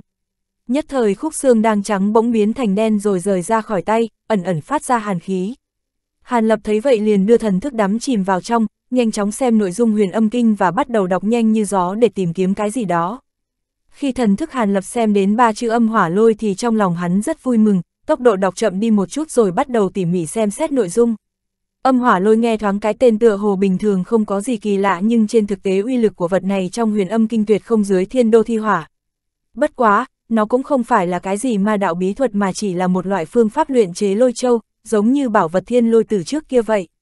Đương nhiên theo huyền âm kinh giảng thuật thì âm hỏa lôi này một khi luyện chế thành thì uy lực rất kinh người. Chỉ tính lực phá hoại mà nói thì thậm chí còn trên cả thiên đô thi hỏa. Nguyên lý chỉ là đem một lượng lớn âm hỏa tinh thuần của huyền âm đại pháp áp chế thành một đoàn rồi trộn lẫn với một ít lôi điện chi lực cùng với một vài tài liệu khác, sau đó sử dụng thủ đoạn đặc thù để gia cố thêm. Một khi đối địch chỉ cần ném ra, đồng thời kích nổ âm hỏa lôi điện bên trong để trọng thương đối thủ. Đáng tiếc là lôi châu nếu dùng là mất, có nhiều hạn chế hơn nữa luyện chế rất phức tạp, không dễ thành công, ngoài ra chỉ có tu sĩ có thể thao túng linh lực lôi thuộc tính mới có thể thực hiện. Cho nên đừng nói cực âm lão quái, ngay cả huyền cốt thượng nhân cũng chưa bao giờ luyện chế loại châu này. Ban đầu khi Hàn Lập thấy phương pháp luyện chế âm hỏa lôi thì chưa chú ý nhiều. Hắn mặc dù có thể thao túng ích tà thần lôi nhưng cũng không dành huyền âm đại pháp nên tự nhiên chỉ đọc lướt qua và chỉ chọn tu luyện âm ma chảm cùng vài loại bí thuật trong huyền âm kinh mà thôi. Hôm nay hắn cảm thấy đau đầu thanh sắc đang diếm trước mắt nhưng đột nhiên lại nghĩ đến bí pháp luyện chế âm hỏa lôi. Nguyên bản muốn luyện chế âm hỏa lôi phải tiêu hao một lượng lớn linh lực, hơn nữa tỷ lệ thành công không nhiều lắm và tu sĩ có thể điều khiển lôi điện cũng khá hãn hữu. Thế nên ở tu tiên giới ít có người luyện chế vật này. Mặc dù ngẫu nhiên có người luyện chế vài khỏa nhưng cũng bởi vì nó là loại dùng tất hết, không thể tái sử dụng nên vừa xuất hiện đã được dùng. Hàn Lập đương nhiên không luyện huyền âm đại pháp nhưng với kiến thức cùng tu vi của hắn hôm nay đã không cần hoàn toàn dựa theo phương pháp ghi trên huyền âm kinh nữa. Chỉ cần thay đổi phương pháp luyện chế lôi châu một chút, lợi dụng thanh diễm có sẵn để luyện thành một loại lôi châu khác thì cũng không tính là lãng phí. Dù sao uy lực của thanh diễm không dưới tử la cực hỏa nên nếu luyện chế thành lôi châu thì có thể khẳng định tác dụng không thể kém âm hỏa lôi nguyên bản. Trước đây Hàn Lập đã từng có ý tưởng dùng kiềm lam băng diễm, thậm chí tử la cực hỏa để luyện chế lôi châu nhưng bởi vì hắn luyện hóa được quá ít hai loại linh diễm này, dùng để đối địch còn không đủ nên thật sự không dám lãng phí. Cái ý niệm đó cũng chỉ chợt lóe qua trong đầu rồi biến mất. Lúc này đối mặt với loại thanh diễm không có cách nào thu lấy hay tiêu diệt được thì việc đem luyện chế thành lôi châu đúng là một chủ ý tuyệt diệu. Nếu được như vậy thì trong đại chiến sắp tới, nó cũng có thể trở thành vũ khí đối địch sắc bén. Trong lòng đã định, Hàn Lập liền tìm kiếm một số thứ trong túi chữ vật. Về phần tài liệu cần thiết để luyện chế lôi châu, hắn đều có thể tìm được từ trên người. Những thứ này cũng không phải là cái gì vật phẩm quý hiếm gì mà chỉ là một số tài liệu mà vô luận luyện đan hay là luyện khí rất hay dùng đến, Hàn Lập luôn luôn chuẩn bị trước. Sau đó hắn đem đồ vật nhất nhất bày ra trước mặt rồi nhìn hỏa cầu đang lấp lóe không ngừng, thần sắc ngưng trọng, hai tay dương lên. Tiếng ầm ù vang lên, hai đạo kim sắc điện hồ đồng thời từ lòng bàn tay bắn ra, đánh về phía thanh sắc hỏa cầu. Trong thính đường thuộc căn cứ của Lạc Vân Tông, Lữ Lạc đang bất động ngồi ở trên ghế, nét mặt không chút biểu tình. Ở trước mặt hắn có vài tu sĩ kết đan kỳ Lạc Vân Tông đang đứng khoanh tay, Hồng Sam lão giả cùng nữ tử họ Tống cũng ở trong đó. Thần sắc bọn họ có chút lo âu, đoạn sư điệt, hàn sư thúc của các ngươi đã bế quan mấy ngày rồi. Lữ Lạc đột nhiên hỏi, khởi bẩm sư thúc, hàn sư thúc đã tiến vào tĩnh thất hơn 2 tháng, ta cùng Tống sư muội vẫn canh giữ ở bên ngoài nhưng chưa thấy sư thúc đi ra lần nào cả. Ừm, khi hàn sư thúc kết thúc bế quan thì các người phải lập tức thông báo cho ta ngay. Dù sao đại chiến cũng sắp đến, phải chuẩn bị một chút. Chúng ta cũng không muốn quấy nhiễu hắn bế quan nhưng bây giờ nhân thủ mộ lan nhân tựa hồ đã đến đông đủ, bắt đầu dậm dịch muốn động thủ. Cao tầng của chúng ta đã tụ hội mấy lần và muốn mời hàn sư thúc các ngươi đến tham gia nhưng đều bị ta lấy cớ chỉ hoãn. Nhưng bây giờ tam đại tu sĩ đang tề tụ thiên nhất thành đã đồng dạng phát thiếp mời hàn sư thúc các ngươi ngày mai gặp mặt. Hội nghị lần này chỉ có tu sĩ Nguyên Anh Trung Kỳ được tham gia, qua đó có thể thấy bọn họ rất coi trọng hàn sư thúc các ngươi. Nếu từ chối nữa thì thực là không tốt, hơn nữa ta phỏng chừng, tụ hội lần này mới đưa ra quyết định cuối cùng về phương pháp ứng chiến. Lạc Vân Tông chúng ta nếu có người tham gia chắc chắn sẽ có nhiều chỗ tốt. Lữ Lạc thở dài, lẩm bẩm nói, Nghe vị Lữ Sư Thúc nói thế, những người khác ở trong phòng đồng dạng đều cười khổ. Nhưng Hàn Sư Thúc bây giờ khẳng định là đang bế quan đến thời điểm mấu chốt, nếu tự nhiên quấy giày thì có thể làm cho Sư Thúc thất bại trong gang tấc hay không? Nữ tử họ Tống sau khi do dự một chút liền lo lắng nói. Cũng vì có băn khoăn nên Lữ Sư Thúc mới chỉ hoãn mãi nhưng tụ hội ngày mai nếu Hàn Sư Thúc vẫn không hiện thân sợ rằng những người khác. Một tu sĩ trung niên có hai tròm dâu nhỏ hai bên có chút trần chờ nói. Những người khác thì sao? Đang lúc này, từ ngoài thính đường đột nhiên truyền đến một câu, thanh âm không lớn nhưng cực kỳ rõ ràng, truyền thẳng vào tai mỗi người. Vừa nghe lời ấy, vẻ mặt Lữ Lạc nhất thời trở nên vui mừng. chương 753, Vân Lộ Lão Ma, theo thanh âm, thân hình Hàn Lập đột nhiên xuất hiện ở cửa đại sảnh, thần sắc bình tĩnh, bộ dáng tiêu sái tiến vào. Hàn sư đệ, đệ cuối cùng cũng đã bế quan đi ra, thật sự là quá tốt. Trong khi các tu sĩ khác khom người hướng Hàn Lập vấn an thì Lữ Lạc mặt tươi cười đứng dậy đón chào. Cũng không có hoàn toàn thành công, đệ vốn định tiếp tục bế quan nhưng trong lòng vẫn canh cánh chuyện mộ lan nhân nên trước tiên ra xem một cái. Xem ra lần này vừa đúng lúc, Hàn Lập khẽ cười một tiếng, nói, ha ha, xem ra sư đệ cũng nghe được lời của mấy vị sư điệt nói vừa rồi. Nhưng gần đây người muốn gặp sư đệ thật đúng là không ít. Chuyện đó cũng không sao cả nhưng ngày mai tam đại tu sĩ tự thân cầm trịch khai mạc cao tầng tụ hội, hàn sư đệ nhất định phải đi một chuyến. Dù sao Lạc Vân Tông chúng ta lần này đã xuất ra hơn phân nửa thực lực, ta cũng không muốn đệ tử bổn tông tổn thương quá lớn. Sư đệ nghe ngóng một chút xem người chủ sự lần này rút cuộc sẽ an bài như thế nào cho đại chiến lần này, cũng để cho sư huynh ta tính toán trong lòng một chút. Lữ lạc mặt lộ vẻ ngưng trọng nói, vâng, nếu đã biết việc này, ngày mai đệ sẽ đến dự. Từ lâu đệ đã ngưỡng mộ tam đại tu sĩ nên cũng rất chờ mong tụ hội ngày mai. Hàn lập miệng đáp ứng nói, câu trả lời của hắn làm cho Lữ Lạc vô cùng cao hứng, tiếp theo hắn cùng Hàn lập trò chuyện một chút về sự tình phát sinh hai tháng gần đây. Pháp sĩ bắt đầu phái người đánh mạnh vào mấy chỗ đại trận ở biên giới sao. Nghe Lữ Lạc nói, Hàn lập mặt mày nhăn nhó hỏi kỹ lại. Không sai, kỳ thật đây mới là chuyện 3-4 ngày trước. Mặc dù không có tạo thành thương vong gì nhưng là điểm báo trước mộ lan nhân đã chuẩn bị xong. Vẻ tươi cười Lữ Lạc vội thu lại, trầm giọng nói. Mộ lan nhân chuẩn bị rất nhanh, vậy nhân thủ của chúng ta bây giờ sắp xếp như thế nào? Chắc cũng không kém chứ. Ánh mắt Hàn Lập sau khi chấp động một chút, chậm rãi hỏi. Chúng ta cùng mộ lan nhân không quá giống nhau, mặc dù mộ lan pháp sĩ là do các bộ tộc tạo thành nên rất tạp loạn nhưng lại không giống thiên nam chúng ta có nhiều tông phái lớn nhỏ. Dựa theo đặc tính công pháp hoặc uy lực pháp bảo, thậm chí là mức độ tu vi lớn nhỏ để bố trình các tổ nhân thủ, mức độ phiền toái nhiều hơn so với địch thủ. Huống chi, bởi vì bọn họ đã dự tính xâm lấn nên sớm chuẩn bị từ lâu. Chúng ta bây giờ mới tập trung, đích xác chậm hơn một ít. Bất quá lần này tứ đại thế lực coi như đồng tâm nên tình huống bây giờ cũng khá ổn. Cho dù lập tức khai chiến cũng không phải là không có chiến lực. Lữ Lạc mở miệng giải thích, nói như vậy, đại chiến sắp sửa diễn ra. Hàn Lập sờ sờ mũi, thần sắc có chút âm trầm nói. Hơn phân nửa là không sai, nếu không, tam đại tu sĩ cũng không tụ tập lại cùng nhau nhanh như vậy và vội vội vàng vàng triệu tập tụ hội ngày mai gồm có những tu sĩ Nguyên Anh Trung Kỳ đứng đầu tại thiên nam chúng ta lữ lạc thở dài, bất đắc dĩ nói. Nghe Hàn Lập cùng lữ lạc hai vị lạc vân tông trưởng lão nghị luận, thần sắc của các tu sĩ khác trong sảnh bất giác nghiêm nghị hẳn lên. Nhưng sau đó, Hàn Lập lại đột nhiên chuyển sang hỏi tình huống Lạc Vân Tông an bài đệ tử gần đây. Lữ Lạc cùng những người khác nhất nhất thông báo rõ ràng cho hắn. Nghe nói đại bộ phận đệ tử Lạc Vân Tông đều bị phân tán vào các đội tu sĩ, cả ngày diễn luyện một số kỹ năng phối hợp tác chiến, Hàn Lập chỉ gật đầu không nói gì. Loại an bài này thật ra là chuyện rất bình thường, dù sao đây cũng không là chuyện tu sĩ đơn đả độc đấu. Cho dù tu sĩ mang thần thông lợi hại nhưng nếu đồng thời bị hàng ngàn hàng vạn tu sĩ có huấn luyện đồng loạt công kích thì cũng chỉ có nước ôm hận đương trường mà thôi. Đương nhiên, nhìn chung tu sĩ cấp cao cũng không để bị cho mình rơi vào tình huống như thế. Nếu không bị đội ngũ tu sĩ vây khốn thì tu sĩ cấp cao hoàn toàn có thể sử dụng thần thông trong phạm vi lớn sát thương tu sĩ cấp thấp. Cho nên có thể áp chế tu sĩ cấp cao của đối phương đồng dạng là chuyện rất trọng yếu. Mà bây giờ tu sĩ cùng pháp sĩ đại chiến, tình huống cũng không sai biệt lắm. Tu sĩ cấp cao cùng mộ lan thượng sư đấu pháp vô luận bên nào không đủ năng lực để áp chế đối phương thì không cần đánh cũng đã thua hơn phân nửa. Cho nên Hàn Lập miệng hỏi chuyện tình Lạc Vân Tông mà trong lòng lại đang suy đoán dụng ý chính thức của chuyện tam đại tu sĩ thiên nam triệu tập tu sĩ Nguyên Anh Trung Kỳ. Sợ rằng hội nghị lần này ngoại trừ việc an bài tu sĩ đại quân thì hơn phân nửa là muốn bố trí một ít sách lược đối phó cụ thể với mộ lan đại thượng sư. Hàn Lập nghĩ như vậy, trong lòng không khỏi cười lạnh. Lần này hắn lợi dụng hai tháng thời gian, chẳng những đem thanh diễm trên thanh trúc phong vân kiếm khu trừ sạch sẽ mà còn vận dụng ích tà thần lôi đem thanh diễm bị hỗn tạp thêm thanh nguyên kiếm khí cùng luyện chế được 7, 8 viên lôi châu. Về các phần khác thì do luyện chế thất bại mà tự tan mất. Điều này làm cho Hàn Lập chứng kiến mà cười khổ không thôi.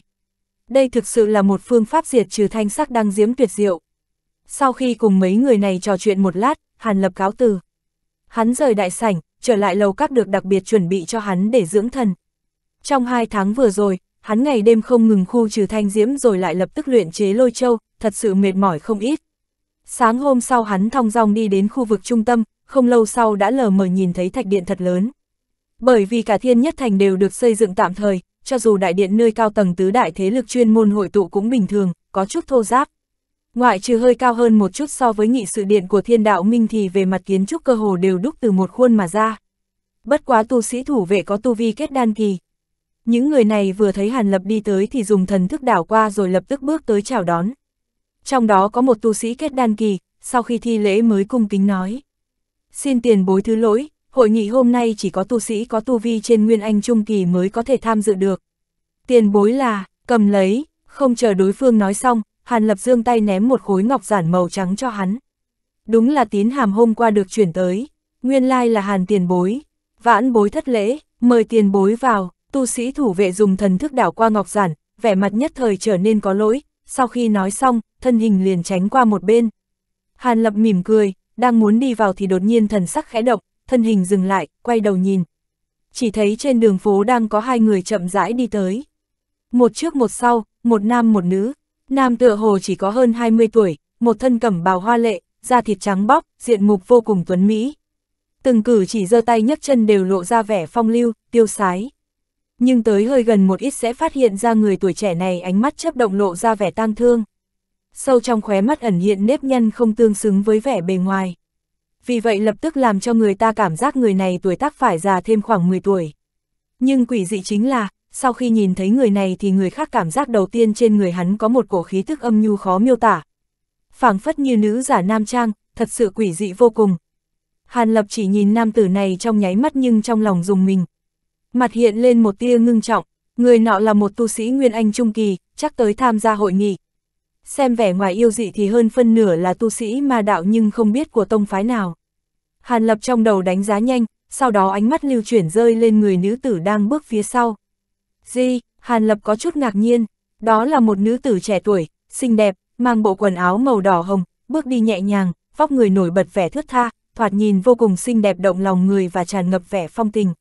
Nhưng Hàn Lập sau khi thấy rõ khuôn mặt nữ tử kia thì lộ ra ánh mắt cổ quái nhưng rất nhanh hồi phục lại như thường, cười khổ. Nàng ta chẳng phải là ai khác mà chính là Đồng Huyên Nhi. Bây giờ không cần nói Hàn Lập cũng đã biết người đi trước thoạt nhìn như còn trẻ tuổi kia chắc chắn là lão quái vật, tu sĩ mà đạo đệ nhất tông hợp hoan tông. Đã nhiều năm không gặp, Đồng Huyền Nhi hôm nay tu vi đã đến kết đan trung kỳ, đối với linh căn không tốt lắm của nữ tử này mà nói thì có chút ngoài dự đoán. Hàn Lập đứng ở trước cửa điện nhìn, tự nhiên cũng khiến cho nhóm tu sĩ kết đan kỳ giữ cửa cũng nhìn về phía hai người nọ. Kết quả vừa thấy lão quái vật kia, nhóm tu sĩ này hơn phân nửa là sắc mặt trắng bệch, trong đó có một người còn lẩm bẩm nói. Không nghĩ tới hợp hoan tông cổ lão ma cũng đến. Cổ lão ma, vừa nghe lời ấy, Hàn Lập nhất thời nhớ tới một người. Hình như hợp hoan tông ngoại trừ hợp hoan lão mà có tu vi nguyên anh hậu kỳ ra thì còn có một vị lão quái vật họ cổ, danh khí cũng không nhỏ. Người này trời sinh dị phú, âm dương đồng thể, tu luyện ma đạo công pháp tối đỉnh của hợp hoan tông, am hiểu thải bổ chi đạo, tự xưng là vân lộ chân nhân nhưng người khác gọi lão là vân lộ lão ma. Lão ma này không biết là do công pháp tu luyện hay là bản tính háo sắc nên thường xuyên đuổi bắt người để thải bổ. Vô luận tuấn nam hay mỹ nữ nếu hợp nhãn thì hơn phân nửa là không bỏ qua. Do đó lão tự nhiên đắc tội với không ít tông môn đại phái.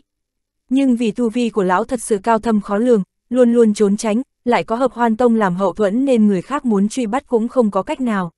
Hơn nữa người này cũng không phải là kẻ thích giết người, một khi thải bổ xong sẽ thả nạn nhân trở về. Sư môn trưởng bối của người bị hại cũng chỉ có thể tận lực giấu giếm chân tướng, nhắm mắt cho qua mà thôi. Danh tiếng người này tại tu tiên giới thiên nam thật sự khiến người khác sợ hãi. Những tu sĩ trẻ tuổi khi nghe đến tên của lão thì chạy trốn chối chết, nếu biết có chạy cũng không thoát thì đều hoảng loạn, mặt không còn chút máu vì sợ bị lão nhìn chúng. Chẳng lẽ tên trẻ tuổi kia chính là lão quái vật họ cổ sao? Hàn Lập mặc dù không sợ hãi lão nhưng trong lòng cũng nói thầm vài câu, cảm thấy có chút không thoải mái. Trùng hợp chính là tên trẻ tuổi Tuấn Mỹ kia cũng chú ý tới Hàn Lập đang đứng ở trước cửa điện, hai mắt híp lại, đánh giá Hàn Lập từ phía xa vài lần rồi đột nhiên nhoẻn miệng cười, ẩn lộ ra một tia vũ nghị. Thấy vậy Hàn Lập chỉ cảm thấy sau lưng lạnh buốt, miễn cưỡng cười rồi ngoảnh đầu lại, cũng không chú ý tới vẻ kinh ngạc của Đồng Huyền Nhi khi gặp hắn, quay người bước vào đại điện. Hắn không có ý muốn giao hảo gì với lão quái vật như thế cả. Sao thế, ngươi biết hắn ta, mới vừa rồi tim của ngươi đột nhiên đập nhanh hơn rất nhiều. Chậm rãi nhìn phía cửa điện, sau khi vừa thấy Hàn Lập thân ảnh biến mất, vẻ tươi cười trên mặt đột nhiên thu lại, nhìn Đồng Huyên Nhi phía sau thản nhiên hỏi. chương 754, Lão Quái Tể Tụ, hắn là một người quen cũ, nhiều năm rồi chưa từng gặp qua. Vừa rồi đột nhiên nhìn thấy nên có chút giật mình, thân sắc Đồng Huyên Nhi có chút kỳ quái nhưng ngoài miệng vẫn bình tĩnh trả lời. Người quen cũ, hắn ta là tu sĩ Nguyên Anh Sơ Kỳ lại được tham gia tụ hội hôm nay, tướng mạo thoạt nhìn còn trẻ như thế thì hẳn là vị Lạc Vân Tông trưởng lão danh tiếng mới nổi lên gần đây. Lại nói tiếp người này cũng họ Hàn, hoàn toàn khớp với người mà ngươi nhắc đến trước kia.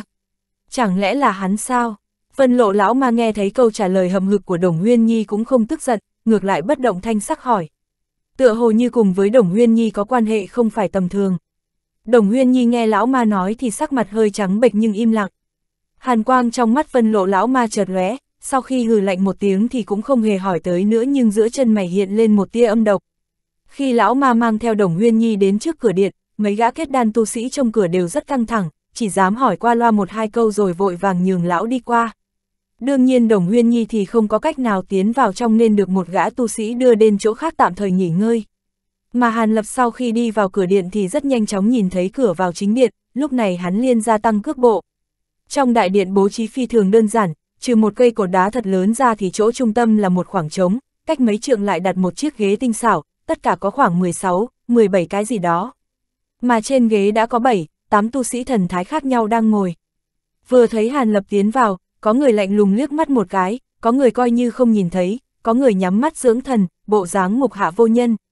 Bất quá một người trong đó khi thấy Hàn Lập tiến vào thì lại lộ ra thiện ý tươi cười, nhìn Hàn Lập ngoắc tay nói. Hàn đạo hữu đã xuất quan rồi sao? Nếu không chê thì đến ngồi cạnh Long mỗ cho vui. Người này đúng là chủ sự thiên đạo Minh Long Hàm, trưởng lão của Loan Minh Tông.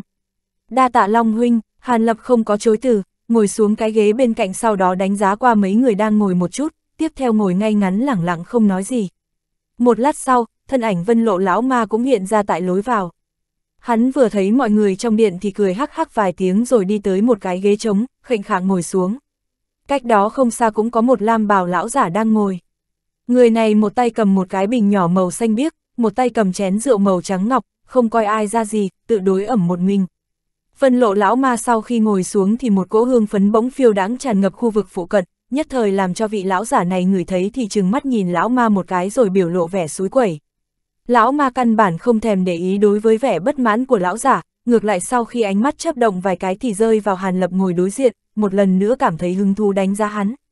Lần này đến phiên Hàn Lập đứng ngồi không yên, hắn sau khi nhướng mày thì dứt khoát nhắm hai mắt lại, trên mặt không lộ ra vẻ gì nhưng trong lòng thì tự đánh giá mối quan hệ giữa lão ma cùng Đồng Huyên Nhi. Năm đó Đồng Huyên Nhi bị thiếu chủ hợp hoan tông bắt đi rồi gia nhập vào ma đạo. Lão ma này mặc dù có tiếng xấu nhưng chắc không hạ thủ đối với tông môn đệ tử. Hai người hẳn là có quan hệ khác, nếu không lão ma về đây tham gia tụ hội cũng sẽ không mang Đồng Huyên Nhi đi theo. Ngay lúc Hàn Lập có chút hoang mang thì ngoài điện lục tục không ngừng có người tiến vào.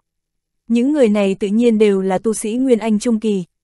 Bọn họ cùng người đến trước hoặc có nhận biết, hoặc có cửu oán không nhỏ. Kể từ đó, tiếng chào hỏi cùng châm chọc khiêu khích vang lên trong đại điện.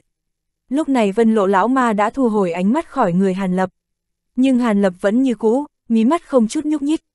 Hắn biết rằng trong đám tu sĩ Nguyên Anh Trung Kỳ căn bản không quen ai nên tự nhiên không cần phải bắt chuyện với người nào cả. Toái hồn đạo hiếu, không nghĩ là ngươi cũng đến, nghe nói cửu hồn bí công của đạo hiếu đã tu luyện đến cảnh giới trí cao. Thật sự là một chuyện đáng mừng, toái hồn, tiếng bắt chuyện vang lên làm cho trong lòng Hàn Lập khẽ động, không nhịn được mở mắt ra. Chỉ thấy tại cửa điện tiến vào một lão giả khô gầy, còn trong điện có một tu sĩ hắc bào đang nhiệt tình chào đón. Lão giả sau khi ngẩn ra thì vẻ mặt lập tức tươi cười, tiêu sái bước đến. Sao vậy, Hàn đạo hữu trước kia đã gặp qua toái hồn chân nhân rồi sao? Long Hàm ngồi một bên chú ý tới cử động của Hàn Lập, đột nhiên mỉm cười hỏi một câu. Không có, Hàn mỗ chỉ là nghe Trình Sư Huynh nhắc tới tên người này. nghe nói thần thông của lão không nhỏ, thần sắc Hàn Lập không thay đổi nói, không đề cập đến chuyện mình ngày đó tại Việt Quốc đã từng đánh chết môn hạ của toái hồn. Ha ha, việc này cũng khó trách, ta nhớ kỹ trình trưởng lão đã từng cùng người này giao thủ và thua thiệt một chút nên tự nhiên là có ấn tượng sâu sắc. Nhưng với thanh danh của Hàn Đạo Hữu bây giờ thì không cần phải kiêng kỵ nhưng trong số các tu sĩ Nguyên Anh Trung Kỳ có một người Hàn Đạo Hữu tốt nhất đừng nên trêu chọc đến. Người này là tu sĩ mà ngay cả tam đại tu sĩ thiên nam gặp phải cũng cảm thấy đau đầu. Long Hàm sau khi mỉm cười nói, còn chỉ điểm thêm cho Hàn Lập. Có thể làm cho tam đại tu sĩ đau đầu, có người như vậy tồn tại ư. Hàn Lập nhíu mày, khẽ giật mình, đương nhiên là có, người này đã từng cùng Chí Dương Đạo Hiếu trong tam đại tu sĩ giao thủ, mặc dù thiếu chút nữa mất mạng nhưng đã trọng thương Chí Dương Đạo Hiếu, hơn nữa lại có thể thoát thân. Cho nên người này cơ hồ được công nhận là một tồn tại ngay sau tam đại tu sĩ. Chỉ là người này luôn luôn độc lai độc váng, việc đại sự pháp sĩ xâm lấn lần này, có thể khiến cho hắn đến hay không thì cũng chưa rõ. Nếu không, đây cũng là một trợ thủ đắc lực, Long Hàm cẩn thận giải thích nói, có thể đánh trọng thương tu sĩ Nguyên Anh hậu kỳ, người này thật ghê gớm nhưng không biết vị cao nhân này là ai, hẳn là danh khí không nhỏ a. Hàn Lập tò mò hỏi, tên của người này khẳng định đạo hữu đã từng nghe nói qua. Đó chính là thiên hận lão quái, Hàn đạo hữu chắc thấy rất quen phải không? Long Hàm vừa cười vừa nói, thiên hận lão quái, danh tiếng lão đích xác đã sớm như sấm bên tai. Hàn Lập cười khổ một tiếng khẽ nói, trong đầu nhất thời nghĩ đến chuyện đã phát sinh khi hắn giả trang thành tu sĩ cấp thấp tại thánh thủ cấm địa. Lúc đó gian tế chính ma lưỡng đạo cũng vô cùng kiêng kỵ đối với thiên hận lão quỷ. Bất quá trong các tu sĩ Nguyên Anh Trung Kỳ thì tựa hồ hiền khang lệ. Long huynh mới tương xứng với tồn tại ngay sau tam đại tu sĩ mới đúng. Hàn Lập nháy nháy đôi mắt, cười đùa nói, nhưng Long Hàm nghe lời ấy thì lại lắc đầu. Ta cùng Phượng Băng mặc dù có chút thần thông nhưng nếu đơn đả độc đấu thì có đến 8-9 phần không phải là đối thủ của người này. Đương nhiên nếu hai người liên thủ mà nói thì đó lại là chuyện khác. Long Hàm nghiêm mặt nói, Hàn Lập nghe vậy cười, đang muốn nói cái gì đó thì đột nhiên cảm thấy có người nhìn mình chăm chú, ánh mắt có chút băng hàn âm trầm, tựa hồ không có hảo ý. Sự cảnh giác trong lòng Hàn Lập xuất hiện, nét mặt không chút thay đổi, chỉ khẽ xoay đầu nhìn về phía có ánh mắt kia. Đó là một lão giả có râu mép dài, cực kỳ xa lạ, mang bộ trang phục màu xanh. Lão giả thấy ánh mắt Hàn Lập nhìn đến thì hàn quang trong mắt thu liếm lại, mặt không chút thay đổi nhìn đi chỗ khác, làm ra vẻ như không có chuyện gì xảy ra cả. Nhưng Hàn Lập không vì vậy mà bỏ qua, ngược lại ánh mắt chấp động nhìn người này chằm chằm thật lâu. Sao, Hàn đạo hữu không biết người nọ? Long Hàm tự nhiên chú ý, khẽ cười hỏi, nghe ý tứ Long Huynh thì tựa hồ tại hạ phải nhận A hắn. Trong lòng Hàn Lập có vài phần buồn bực hỏi, người này là đông môn đồ đại trưởng lão Ngự Linh Tông, nắm giữ đại quyền ở Ngự Linh Tông. Ta mặc dù không giao hảo với hắn nhưng nghe nói hắn cùng cốc song bồ có quan hệ rất tốt, cơ hồ tình như thủ túc. Mà đạo hữu lại chỉ ra cốc song bồ là gian tế mộ lan nhân rồi tiêu diệt. Bởi vì chứng cứ đầy đủ nên hắn không nói gì được nhưng khẳng định là rất bất mãn với đạo hữu. Sau này đạo hữu phải cẩn thận một chút, Long Hàm thâm ý sâu sắc dặn dò một câu. Hàn Lập nghe vậy, khẽ vân về mũi, vẻ mặt cười khổ, ngoài miệng cuống quýt cảm tạ. Chỉ sau một khắc thời gian ngắn ngủi, phần lớn số ghế trong điện đã có người ngồi. Lại nói tiếp cũng buồn cười, không biết là cố ý hay do vô tình mà tu sĩ Ma đạo cơ hồ ngồi hết phía bên phải còn tu sĩ chính đạo thì chiếm cứ các ghế bên trái. Chỉ có tu sĩ thiên đạo minh cùng cửu quốc minh tựa hồ là không để ý gì cả, chỉ tùy ý ngồi xuống. Trong nhóm tu sĩ này Hàn Lập nhận biết được một người quen cũng ngồi ở trong đó. Đó chính là tu sĩ họ huống của Nghe Hàng Trai. Lão vừa lúc ngồi bên phía ma đạo, nhìn thấy Hàn Lập nhìn lại thì mỉm cười. Hàn Lập tự nhiên gật đầu chào hỏi một chút, lúc này Long Hàm bên cạnh truyền thanh chỉ cho Hàn Lập biết hai tu sĩ khác thuộc thiên đạo minh. Một phụ nhân sắc mặt nhợt nhạt, dung mạo bình thường và một lão giả bộ dáng sầu khổ. Hàn Lập liếc mắt nhìn hai người này một cái, đem tướng mạo bọn họ ghi tạc trong lòng. Lúc này không biết có phải là do có nhiều người nên thần sắc của những người đang ngồi rất ngưng trọng, không có ai nói chuyện, đàm luận gì cả, toàn bộ đều lạnh lùng đánh giá những người khác. Những người này cơ hồ đều là nhân vật đứng đầu một phương ở thiên nam, bây giờ lại tụ tập hết đến đây thì dù biết nhau hay không, ai ai cũng sinh ra các loại tâm tư cùng ý nghĩ. Trong những người này, Hàn Lập được xem như là một tồn tại cực kỳ đặc thù. Với thần thức cường đại của mấy lão quái vật kia cộng thêm việc Hàn Lập không cố ý che giấu nên cơ hồ các ánh mắt khi đảo qua trên người Hàn Lập thì đều biết được tu vi nông sâu của hắn và tất nhiên là biết hắn là nhân vật nào. Dù sao danh tiếng của Hàn Lập trong nửa năm gần đây nổi lên như cồn, thanh danh hiển hách. Mấy lão quái vật kia không thể không nghe nói đến, mà Hàn Lập thì nhắm mắt, ngồi tại chỗ, không nhìn bất kỳ ai cả, lấy bất biến ứng vạn biến. Đang lúc không khí trong điện trở nên vô cùng yên lặng, thậm chí có chút ngưng trọng thì từ cánh cửa một bên đại điện, rút cuộc có ba người trước sau đi ra. Nguyên bản nhóm lão quái đang yên lặng nhìn người khác đều thu hồi lại ánh mắt, nhìn về phía đó. Một gã hắc bào đại hán, một vị lục phát lão giả, một vị đạo sĩ lưng dắt trường kiếm. Thần sắc hàn lập như thường nhưng trong lòng lại nổi sóng. Ba người này chính là tam đại tu sĩ. Hơn ngàn năm qua, cả thiên nam chỉ có ba tu sĩ Nguyên Anh hậu kỳ nên những người khác mặc dù biểu tình khác nhau nhưng đại đa số đều giống hàn lập, cùng bất động thanh sắc nhìn về phía ba người kia và chờ bọn họ mở miệng nói chuyện. chương 755, sinh tử đổ chiến. Ba người này chậm rãi đi tới trung tâm đại điện, sóng vai dừng lại. Người đứng ở chính giữa là hắc bào đại hán tướng mạo có chút dữ tợn, lạnh lùng mở miệng. Ba người chúng ta là ai thì chắc không cần giới thiệu. Cho dù có người không nhận ra chúng ta thì bây giờ cũng đã biết rồi. Tụ hội lần này do ba chúng ta chủ trì, có ai có ý kiến gì khác không? Thanh âm hắc bào đại hán cực kỳ băng hàn, lời vừa dứt thì bỗng nhiên một cỗ khí thế cường đại từ trên người toát ra, theo sau linh áp thật lớn đè xuống cả gian đại điện. Các tu sĩ đang ngồi cảm ứng được linh khí ba động thâm bất khả chắc thì sắc mặt khẽ biến. Nhưng Hàn Lập không những kinh hãi bởi vì pháp lực cường đại của người này mà trong lòng còn kinh ngạc. Từ ma khí âm hàn trên người, Hàn Lập khẳng định vị này là hợp hoan lão ma nhưng bộ dáng của lão mà này thật sự không giống như trong tưởng tượng của hắn. Tuy là đại trưởng lão hợp hoan tông nhưng công pháp thoạt nhìn lại như ma công của quỷ linh môn. Do Hàn Lập không biết đại trưởng lão hợp hoan tông từ xưa đến nay đều được xưng là hợp hoan lão ma. Mặc dù công pháp hắc bào đại hán tu luyện cùng với ma công hợp hoan tông quan hệ không lớn nhưng vẫn không thể không mang danh hiệu đó. Lúc này những người khác đều cảm nhận được sự đáng sợ của đại hán nên trong lòng tuy có chút không quá thoải mái nhưng cũng không ngu xuẩn đến mức nhảy ra khiêu chiến với quyền uy của tam đại tu sĩ. Trong lúc nhất thời cả gian đại điện trở nên yên tĩnh không tiếng động, coi như đồng ý với lời nói vừa rồi của hợp hoan lão ma. Tốt, nếu không có ý kiến gì, vậy không cần nói rông dài, vòng vo nữa và trên thực tế cũng không có thời gian để nói nhảm.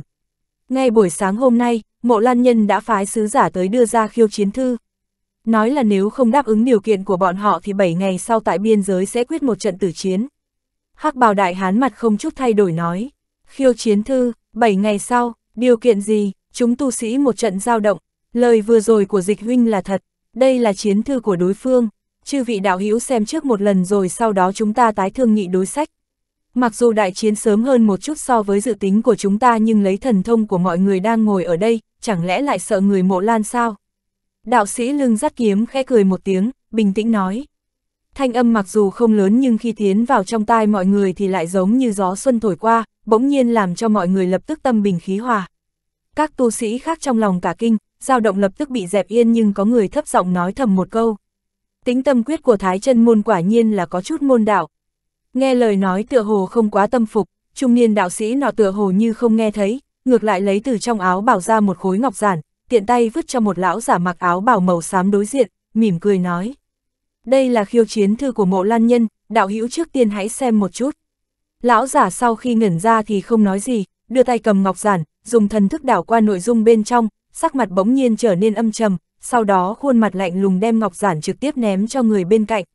Người nọ sau khi tiếp nhận ngọc giản cũng tò mò dụng tâm thần lướt qua một cái, sắc mặt cũng nhăn nhó. Lúc chúng tu sĩ đang truyền nhau khiêu chiến thư, Hàn Lập lại đánh giá đạo sĩ cùng thanh sam lão giả nọ. Đạo sĩ này ước chừng hơn 40 tuổi, da rẻ trắng hồng, ngũ quan đoan chính nho nhã, làm cho người ta vừa nhìn đã sinh hảo cảm, chính là trí dương thượng nhân của Thái chân môn thuộc chính đạo minh. Về phần thanh sam lão giả nọ từ bề ngoài mà xem thì thật sự rất bình thường, vô luận quần áo trang phục hay là tướng mạo khí khái, cũng không có chút nào đặc thù. Duy nhất làm cho Hàn Lập lưu tâm chính là 10 ngón tay để móng dài. Những móng tay kia thoạt nhìn cực kỳ sắc bén, lóe lên quang mang màu tím đen, thật sự rất bắt mắt. Người này tự nhiên là Ngụy Vô Nhai đại trưởng lão của Cửu Quốc Minh. Ngụy Vô Nhai tựa hồ cảm nhận được ánh mắt Hàn Lập, khẽ liếc mắt nhìn hắn một cái, sau khi đối mắt thì biểu tình lộ ra một tia ngoài ý muốn, mỉm cười. Hàn Lập có chút xấu hổ, đồng dạng cười đáp lễ nhưng trong lòng không khỏi thầm nghĩ nếu người này biết quan hệ của mình với Nam Cung Uyển thì không biết còn có thể cười được không. Ngay lúc Hàn Lập đang tự đánh giá thì Long Hàm bên cạnh đã xem xong ngọc giản được người khác đưa tới, biểu tình trở nên không tốt, ném cho Hàn Lập. Thấy thần sắc của mấy người phía trước cũng như vậy, Hàn Lập có chút tò mò. Lúc này vẻ mặt hắn bình thường, đem tâm thần đắm chìm vào trong ngọc giản. Một hồi lâu sau Hàn Lập trao mày, thu hồi thần thức, yên lặng đem ngọc giản giao cho một vị tu sĩ khác. Không bao lâu ngọc giản đã được xem hết một lượt, sắc mặt mỗi một người thoạt nhìn đều không được tốt lắm. Thậm chí có một hai người sau khi xem hết, không thể nhẫn nại, hừ lạnh một tiếng. Chư vị đạo hữu đã xem xong chiến thư rồi, không biết có ý kiến gì không? Chí dương thượng nhân của Thái chân Môn như cười như không, hỏi một câu. Khẩu khí thật lớn, đem một nửa thiên nam nhường cho bọn hắn. Bọn hắn tưởng rằng dễ thắng chúng ta lắm sao? Một vị tu sĩ sắc mặt âm lệ, thân mặc cẩm bào lạnh lùng nói. Không sai, cái gì bảo là bỏ ra một chút đất đai thì có thể hóa giải can qua. Bọn họ nghĩ rằng chúng ta không biết sao rằng mộ lan nhân bây giờ chỉ là chó chạy nhà tang thôi sao. Sợ rằng không cần chúng ta cùng bọn họ quyết chiến, chỉ cần cầm cự một chút là có thể đem bọn họ sát tê. Một lão giả đầu to, mặt lộ vẻ gian trá nói. Lỗ đạo hiếu người nói lời này là có ý tứ gì? Có phải là do thiên huyễn tông các ngươi nằm sâu trong thiên nam nên không thèm để ý đến chết sống của các tông môn chúng ta? Kéo dài chiến tranh đối với thiên huyễn tông các người đương nhiên chẳng can hệ nhưng đối với căn cơ của tông môn chúng ta thì phải làm sao bây giờ?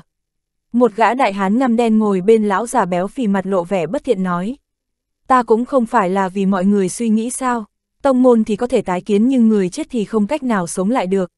Lão già béo phì không sợ chút nào, nhưng nhìn một cái rồi thản nhiên nói. Hừ, ngươi nói nghe dễ dàng quá, nếu buông bỏ vài quốc gia của chúng ta thì tại sao tu sĩ chúng ta phải thay ma đạo các ngươi ngăn cản pháp sĩ đại quân, chúng ta dứt khoát đem cả tông môn di chuyển đến thiên la quốc các ngươi thì không phải là sẽ không chết một ai sao. Lại có một người lạnh nhạt nói, các ngươi, đủ rồi, chuyện có hay không kéo dài chiến tranh đã sớm quyết định rồi, không cần thảo luận nữa. Bây giờ việc chúng ta phải làm là ứng phó pháp sĩ đại quân mộ lan nhân như thế nào, không phải nghe các người tranh cãi. hắc bào đại hán nghe đến đó, sắc mặt trầm xuống, đột nhiên quát lớn vài câu. Ba người này vừa thấy vị hợp hoan lão ma mở miệng, mặc dù trong lòng không phục nhưng không dám nói gì. Dù sao trong tu tiên giới đều lấy thực lực nói chuyện. Kỳ thật chuyện tranh chấp của ba vị đạo hữu căn bản không cần thiết vì chúng ta đã sớm tính toán qua. Lấy khí thế của pháp sĩ đại quân lần này, việc kéo dài chiến tranh căn bản là không có khả năng. Nếu không tập trung hơn phân nửa lực lượng của thiên nam thì căn bản không có cách nào ngăn cản thế công của đối phương. Chỉ bằng vào lực lượng một tông phái hay một quốc gia thì sợ rằng vừa giao chiến đã lập tức hỏng mất. Đến lúc đó 89 phần 10 lực lượng bị tiêu hao chính là chúng ta cho nên trận này phải đánh. Hơn nữa nhất định phải đem đánh bại mộ lan nhân, ở đây tuyệt đối không có cái gì gọi là may mắn cả. Sắc mặt của trí dương thượng nhân cũng ngưng trọng nói. Vừa nghe thế, các tu sĩ khác sau một trận thì thầm liền an tĩnh trở lại. Bất quá mộ lan nhân rút cuộc làm cái trò quỷ quái gì vậy? Đánh thì đánh, vì sao còn muốn trước tiên tiến hành đổ chiến gì đó? Hơn nữa còn muốn cược to nữa chứ? Nhiều tài liệu quý trọng như vậy cho dù là đại tông đại phái cũng không thể có được. Không phải tư nguyên tu luyện của mộ lan thảo nguyên thiếu thốn sao? Vị đông môn đồ ngự linh tông đột nhiên ánh mắt chấp động, hỏi một câu. Cái này thì ta biết, mộ lan thảo nguyên xác thực tư nguyên thiếu thốn nhưng cũng chỉ là tương đối mà thôi. Linh thạch, quặng mỏ và một ít nguyên liệu thường dùng so sánh với số lượng pháp sĩ khổng lồ mà nói thì đích xác là không nhiều lắm. Nhưng tài liệu hy hữu thì mộ lan thảo nguyên lại không hề ít, thậm chí có vài loại so với thiên nam chúng ta lại giàu có hơn. Có thể xuất ra nhiều tài liệu như thế cũng không có gì phải ngạc nhiên. Tu sĩ kia tựa hồ biết rất nhiều về người mộ lan nên giải thích. Hóa ra là vậy, nhưng bọn hắn nếu đã tự tin như thế thì nhất định có thể thắng cuộc. Trong trận đổ chiến đó trừ tu sĩ Nguyên Anh hậu kỳ ra thì mọi người còn lại đều có thể tham gia. Một lần đánh cuộc lại gồm 10 trường chiến đấu sinh tử. Chẳng lẽ bọn họ cho rằng tu sĩ chúng ta đều là tép diêu hết hay sao? Đông môn đồ chậm rãi nói, trên mặt hiện ra vẻ trầm tư. Những tu sĩ đang ngồi đây, ai ai cũng là hạng người suy tính sâu xa, tự nhiên biết mộ lan nhân đưa ra đổ chiến này khẳng định là có chút quỷ quái hoặc là ám hàm quỷ kế gì đó nên đều tự đánh giá xem trong đó có gì không ổn hay không. Hàn Lập cũng có chút nghi hoặc khó hiểu, trong khiêu chiến thư đã nói rất rõ ràng, đổ chiến lần này là do song phương cử hành trước mặt hai bên nên không có khả năng thi triển thủ đoạn ám toán gì. Hơn nữa tu sĩ xuất chiến cũng trực tiếp mang theo tài liệu đánh cuộc vào tỷ thí. Người thắng có thể trực tiếp lấy túi chữ vật của đối phương.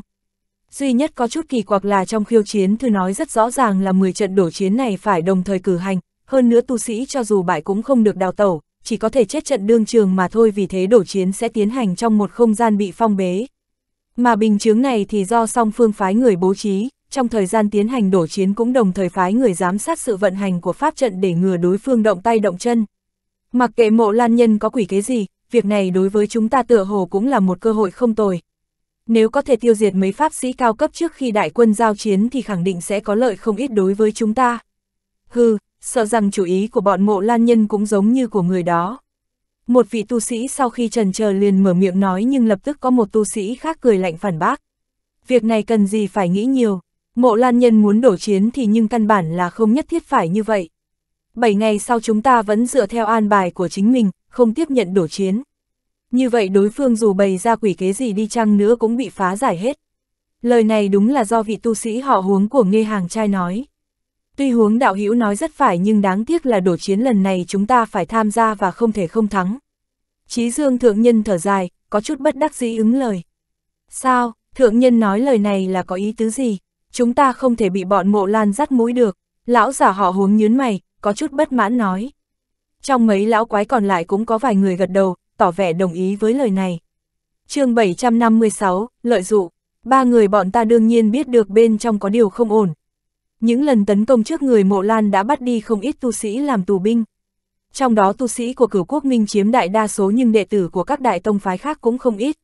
Theo như vị sứ giả đó cho biết thì có khoảng hơn một ngàn người, Chí Dương Thượng Nhân thần sắc âm trầm nói. Xin đạo hữu chỉ giáo cho, chẳng lẽ nếu chúng ta không tiến hành đổ chiến thì bọn họ sẽ giết tù binh hay sao?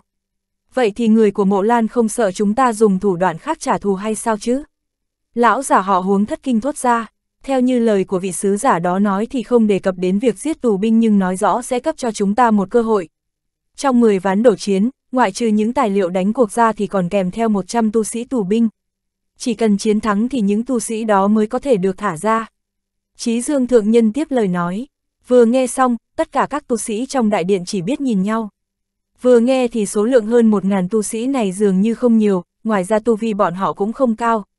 Trong đó tu sĩ cấp thấp chiếm hơn phân nửa cho nên không sợ bị đối phương lợi dụng để uy hiếp.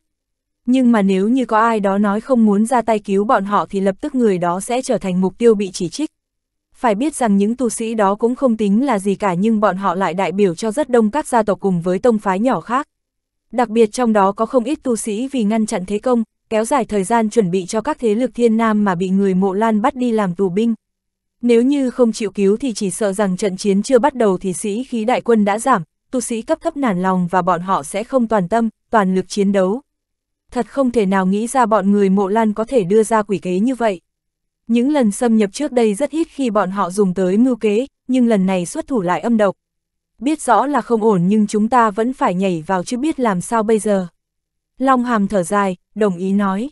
Long Hàm đã nói như thế thì những người còn lại sao không hiểu được. Trong lòng bọn họ cũng thấy bất đắc dĩ, thầm mắng đối phương thực xảo trá. Xem ra mọi người cũng đã hiểu rõ, lần đổ chiến này không đánh không được, bất kể đối phương có dụng ý gì, chúng ta cũng phải đả bại pháp sĩ nếu không sĩ khí của đại quân sẽ bị đả kích không nhỏ.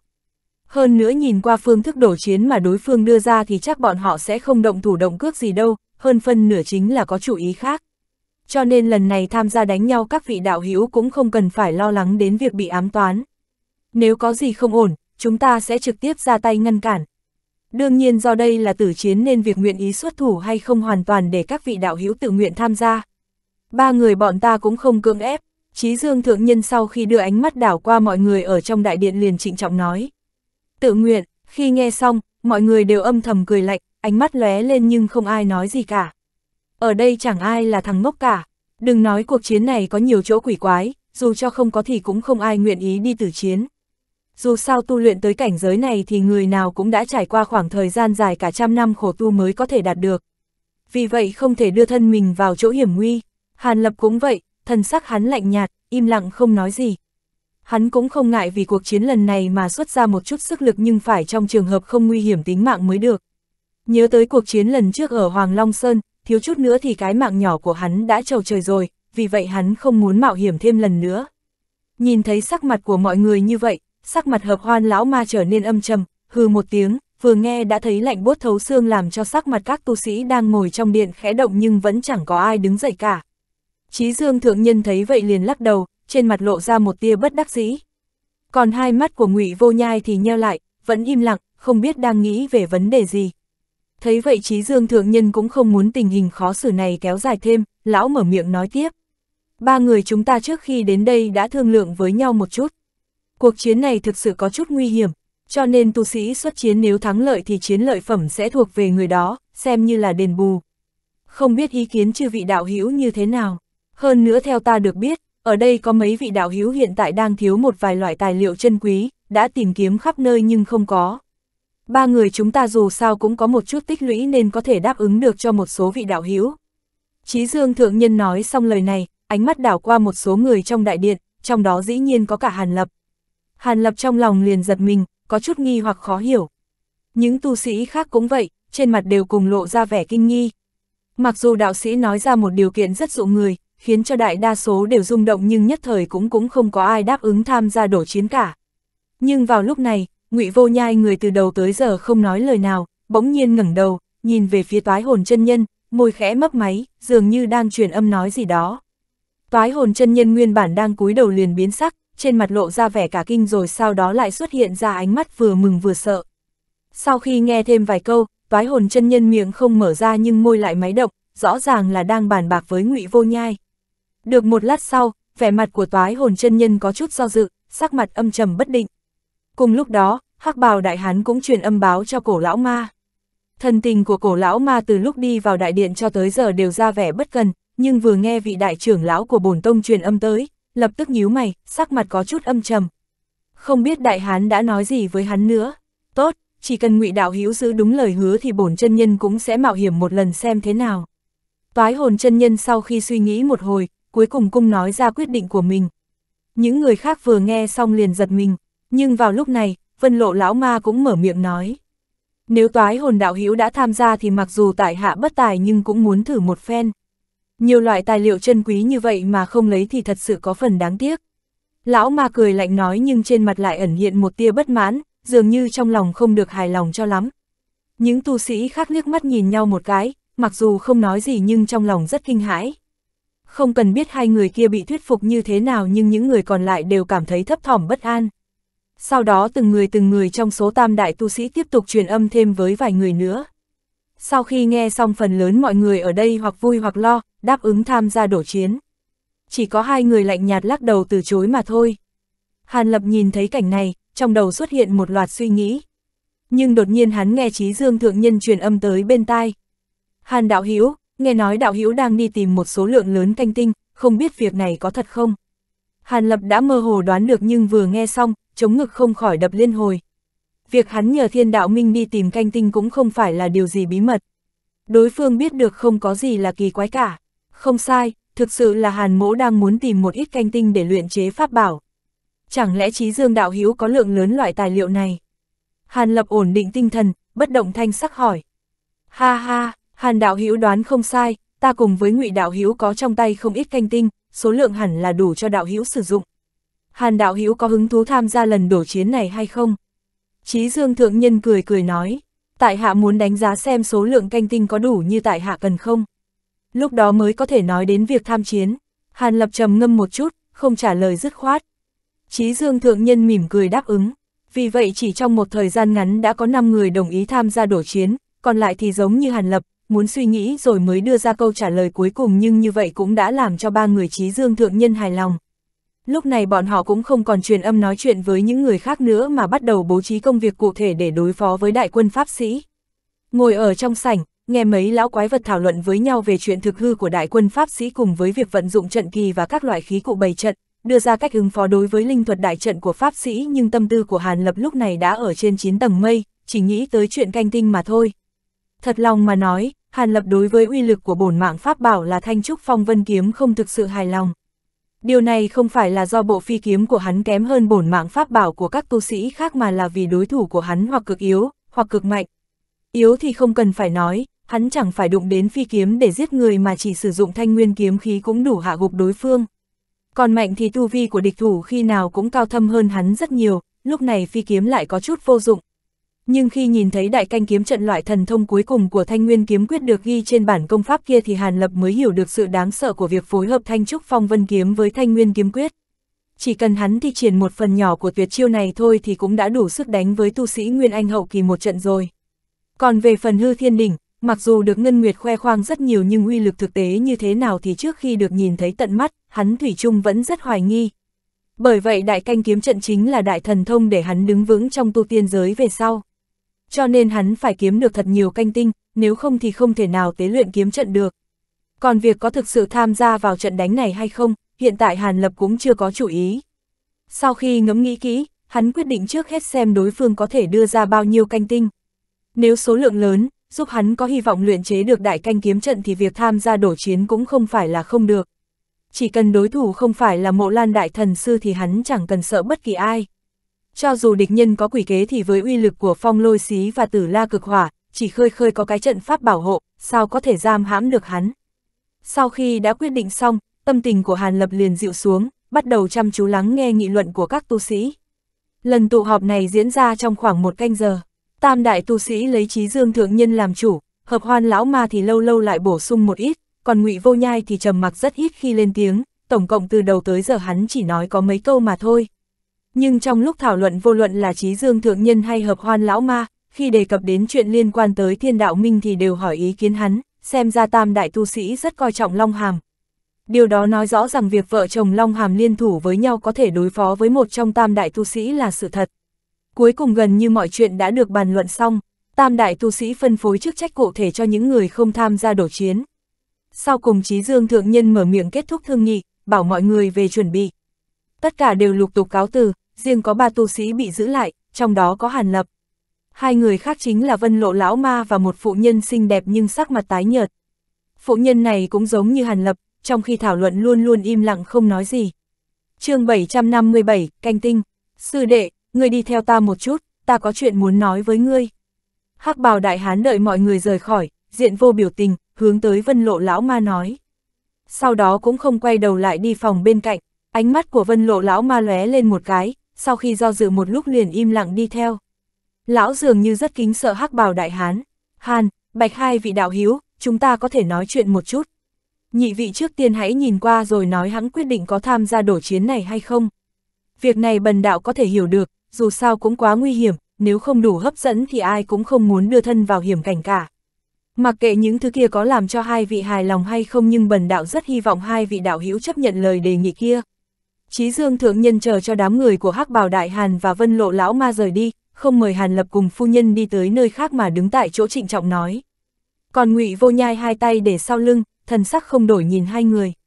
Nghe Chí Dương thượng nhân nói vậy, Hàn Lập còn chưa nói gì thì vị phu nhân xinh đẹp nhíu mày, lạnh lùng trả lời. Ta chỉ là một phụ nữ yếu nhược, mặc kệ việc mộ lan xâm lấn thiên nam, hay là thiên nam xâm lấn mộ lan. Lần này nếu như ngươi không truyền tin nói là có vật ấy trong tay thì ta cũng không rời núi tới đây. Lời thật khó nghe, nếu thứ đó không vừa ý ta thì ta sẽ lập tức quay về. Lời lẽ của vị phu nhân nói trí dương thượng nhân không có chút khách khí nào cả. Bạch đạo hữu sao lại thế chứ? Mặc dù việc năm đó ta có sai nhưng trên thực tế là muốn tốt cho đạo hữu mà thôi. Chí dương thượng nhân nghe vậy, không chút tức giận mà còn ôn hòa nói. Hừ, thị phi đúng sai, ta tự có đánh giá của riêng mình. Đừng đề cập đến chuyện năm đó nữa, mau lấy vật ấy ra đi. Sắc mặt phu nhân trầm xuống, hừ lạnh nói. Hàn Lập nghe đến đó, ngoài mặt vẫn bình thường nhưng trong lòng lại kinh ngạc không thôi. Xem ra bạch phu nhân này có chút chuyện liên quan với trí dương thượng nhân, không biết quan hệ giữa bọn họ thế nào nữa. trí Dương Thượng Nhân thấy vẻ mặt của vị phu nhân bất thiện như thế, chỉ còn biết lắc đầu rồi đưa tay vào túi chữ vật, lấy ra một cái hộp ngọc màu trắng. Vẻ bề ngoài của hộp ngọc nhìn rất bình thường, giống như những cái khác. Nhưng nó vừa xuất hiện thì nhiệt độ trong đại sảnh nhanh chóng giảm xuống, chỉ trong phút chốc đã lạnh giá như mùa đông. Mặc dù Hàn Lập đã luyện đến cảnh giới nóng, lạnh bất xâm nhưng cũng cảm thấy không thích ứng lắm cho nên hắn không khỏi đưa hai mắt nhìn nhìn.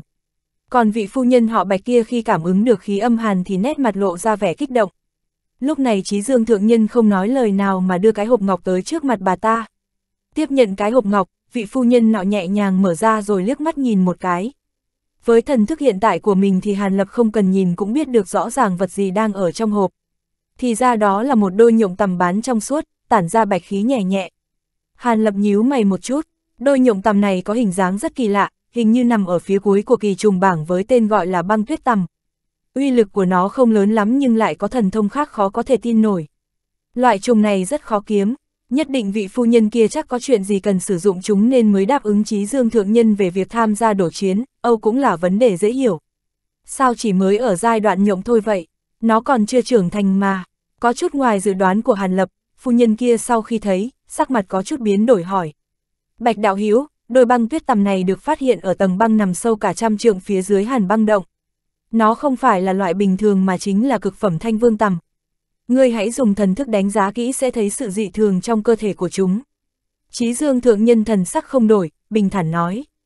Thanh vương tầm, vẻ mặt vị phu nhân thay đổi, bán tín bán nghi, dùng thần thức kiểm tra băng tầm. Một hồi lâu sau đó, nét mặt mới giãn ra. Thế nào, đôi thanh vương tầm này tuy vẫn là nhộng nhưng nếu nở ra thì chắc chắc sẽ là cực phẩm, chắc cũng đủ để cho đạo hữu mãn ý rồi chứ. Chí dương thượng nhân nhìn chằm chằm phu nhân, dò hỏi. Vật này ta nhận, ta sẽ tham gia đổ chiến. Phu nhân sau khi do dự một chút, liền thu lấy hộp ngọc. Tốt, với thần thông vân tuyết quyết của bạch đạo hữu thì đối phó với một tên pháp sĩ, chắc chắn sẽ thắng.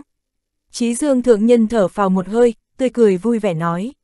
Còn phu nhân họ bạch thần sắc bất động, lạnh nhạt buông ra hai chữ cáo tử rồi quay người đi ra khỏi đại điện. Chí dương thượng nhân chỉ còn biết cười khổ lắc đầu, ngụy vô nhai thấy vậy chỉ cười hắc hắc, nhưng vẫn không nói gì cả. Hàn đạo hiếu, không biết đạo hiếu cần nhiều hay ít canh tinh. Chờ phu nhân nọ đi ra khỏi cửa điện, Chí Dương thượng nhân quay lại, hướng tới Hàn Lập tươi cười hỏi. Tại hạ cần rất nhiều, có thể nói là càng nhiều càng tốt. Tất nhiên giá trị canh tinh rất cao, chỉ cần hai vị đạo hiếu có thể xuất ra, Hàn mỗ nguyện ý dùng vật có giá trị tương đương trao đổi, cũng không khiến cho hai vị đạo hiếu thiệt thòi đâu. Hàn Lập không có vòng vo mà đi thẳng vào vấn đề luôn. Ha ha, nghe khẩu khí của Hàn đạo hiếu thì dường như có không ít tài sản. Nhưng đạo hiếu cũng biết một khi đã đến được cảnh giới như chúng ta thì có rất ít đồ vật làm cho bần đạo cùng ngụy huynh động lòng được. Nếu không thì cuộc đại chiến lần này, ba người bọn ta sao lại bỏ ra nhiều đồ vật ngoài thân như thế chứ? Chí dương thượng nhân đầu tiên là ngẩn ra rồi sau đó cười nói. Hàn lập chỉ cười cười, không nói gì thêm, còn ngụy vô nhai đứng im lặng ở một bên đột nhiên than thở một câu. Chí dương đạo hiếu, người sao lại có thể nói như vậy chứ? Như hàn đạo hiếu đây chỉ lấy tu vi nguyên anh sơ kỳ mà có thể bình yên thoát khỏi tay mộ lan thần sư, há có thể so sánh với những tu sĩ bình thường khác hay sao? Ha ha, tại hạ thực đường đột, bất kể là hàn đạo hiếu định dùng vật gì để trao đổi, trước tiên ta sẽ để đạo hiếu xem qua canh tinh một chút đã. Nếu đạo hiếu có vật gì thực sự làm cho bọn ta động tâm thì sẽ đồng ý đổi tất cả canh tinh, hai người bọn ta cũng không có ý kiến gì. Chí dương thượng nhân hào sảng nói, theo đó lão tháo túi chữ vật bên hông ra, hướng miệng túi xuống dưới dốc dốc, một đạo hào quang màu trắng chợt xuất hiện. Trong đạo hào quang có ba khối đá màu vàng kim lớn nhỏ khác nhau, bị đạo sĩ vươn tay chụp lấy rồi đưa cho Hàn Lập. Trong lòng Hàn Lập liền giật mình, không chút khách khí tiếp nhận và đánh giá thứ mà mình cầu mong bấy lâu nay. Một lớn hai nhỏ, ba khối này đích xác chính là canh tinh. Thể tích của khối lớn gần bằng với khối canh tinh mà hắn thấy ở giao dịch hội ngày đó, cỡ khoảng hạt quả hạnh đào. Còn hai khối nhỏ chỉ bằng một nửa khối lớn, số lượng này chỉ đủ cho hắn dùng cho khoảng mười mấy thanh phi kiếm. Mặc dù ít hơn so với dự kiến nhưng ngoài mặt Hàn Lập vẫn bình thường, ánh mắt xuất hiện một tia thất vọng. Nhìn thấy ánh mắt thất vọng của Hàn Lập, Chí Dương Thượng Nhân có chút kinh ngạc. Chẳng lẽ canh tinh nhiều như vậy mà vẫn không đủ dùng sao?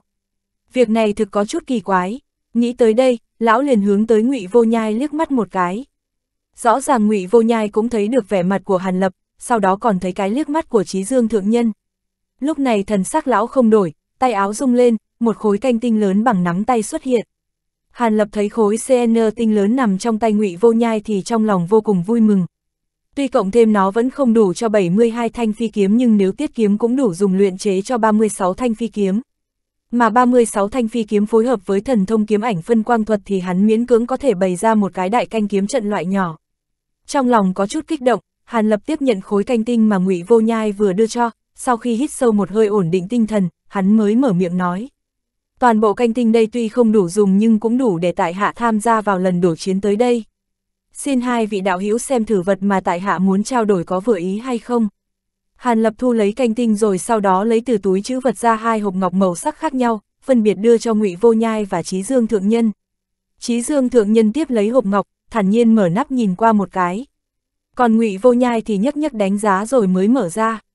Trong một cái hộp có rất nhiều vảy sừng màu đỏ tươi, còn trong hộp kia lại có một cái xác rùa màu đen. Đây là cái gì? Yêu thú tài liệu, hai người có chút kinh ngạc. Hàn Lập thấy vậy liền giải thích, không sai, trong tay ngụy Đạo Hữu là lân phiến của yêu thú độc dao, còn trong tay Trí Dương Đạo Hữu là xác rùa. Cả hai đều là của yêu thú cấp 8, mặc dù không dám nói nó là thứ nghịch thiên nhưng tài liệu từ bản thể của yêu thú hóa hình chỉ sợ rất khó kiếm được ở thiên nam. Có lẽ cũng dư sức trao đổi với số canh tinh vừa rồi. Thanh âm Hàn Lập rất bình tĩnh và rất tự tin, yêu thú cấp 8 cho dù ở loạn tinh hải cũng là tồn tại rất đặc thù.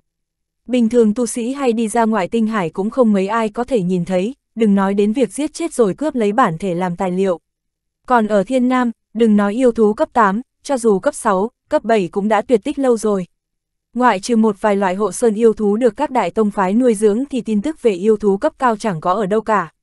Lân phiến của độc giao cấp 8, trí dương thượng nhân còn tốt, tuy vẻ mặt kinh ngạc nhưng thần sắc vẫn như thường, còn ngụy vô nhai thì vừa nghe lai lịch của lân phiến lại không nhịn được thất thanh hô lên, trong giọng nói tràn ngập vẻ vui mừng.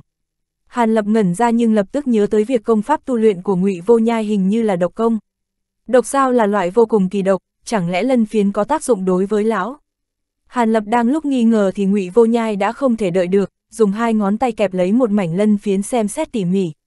Ha ha, xem ra thứ hàn đạo hữu muốn trao đổi thực hợp ý ngụy huynh. Ta cũng có chút hứng thú đối với cái xác quy yêu này.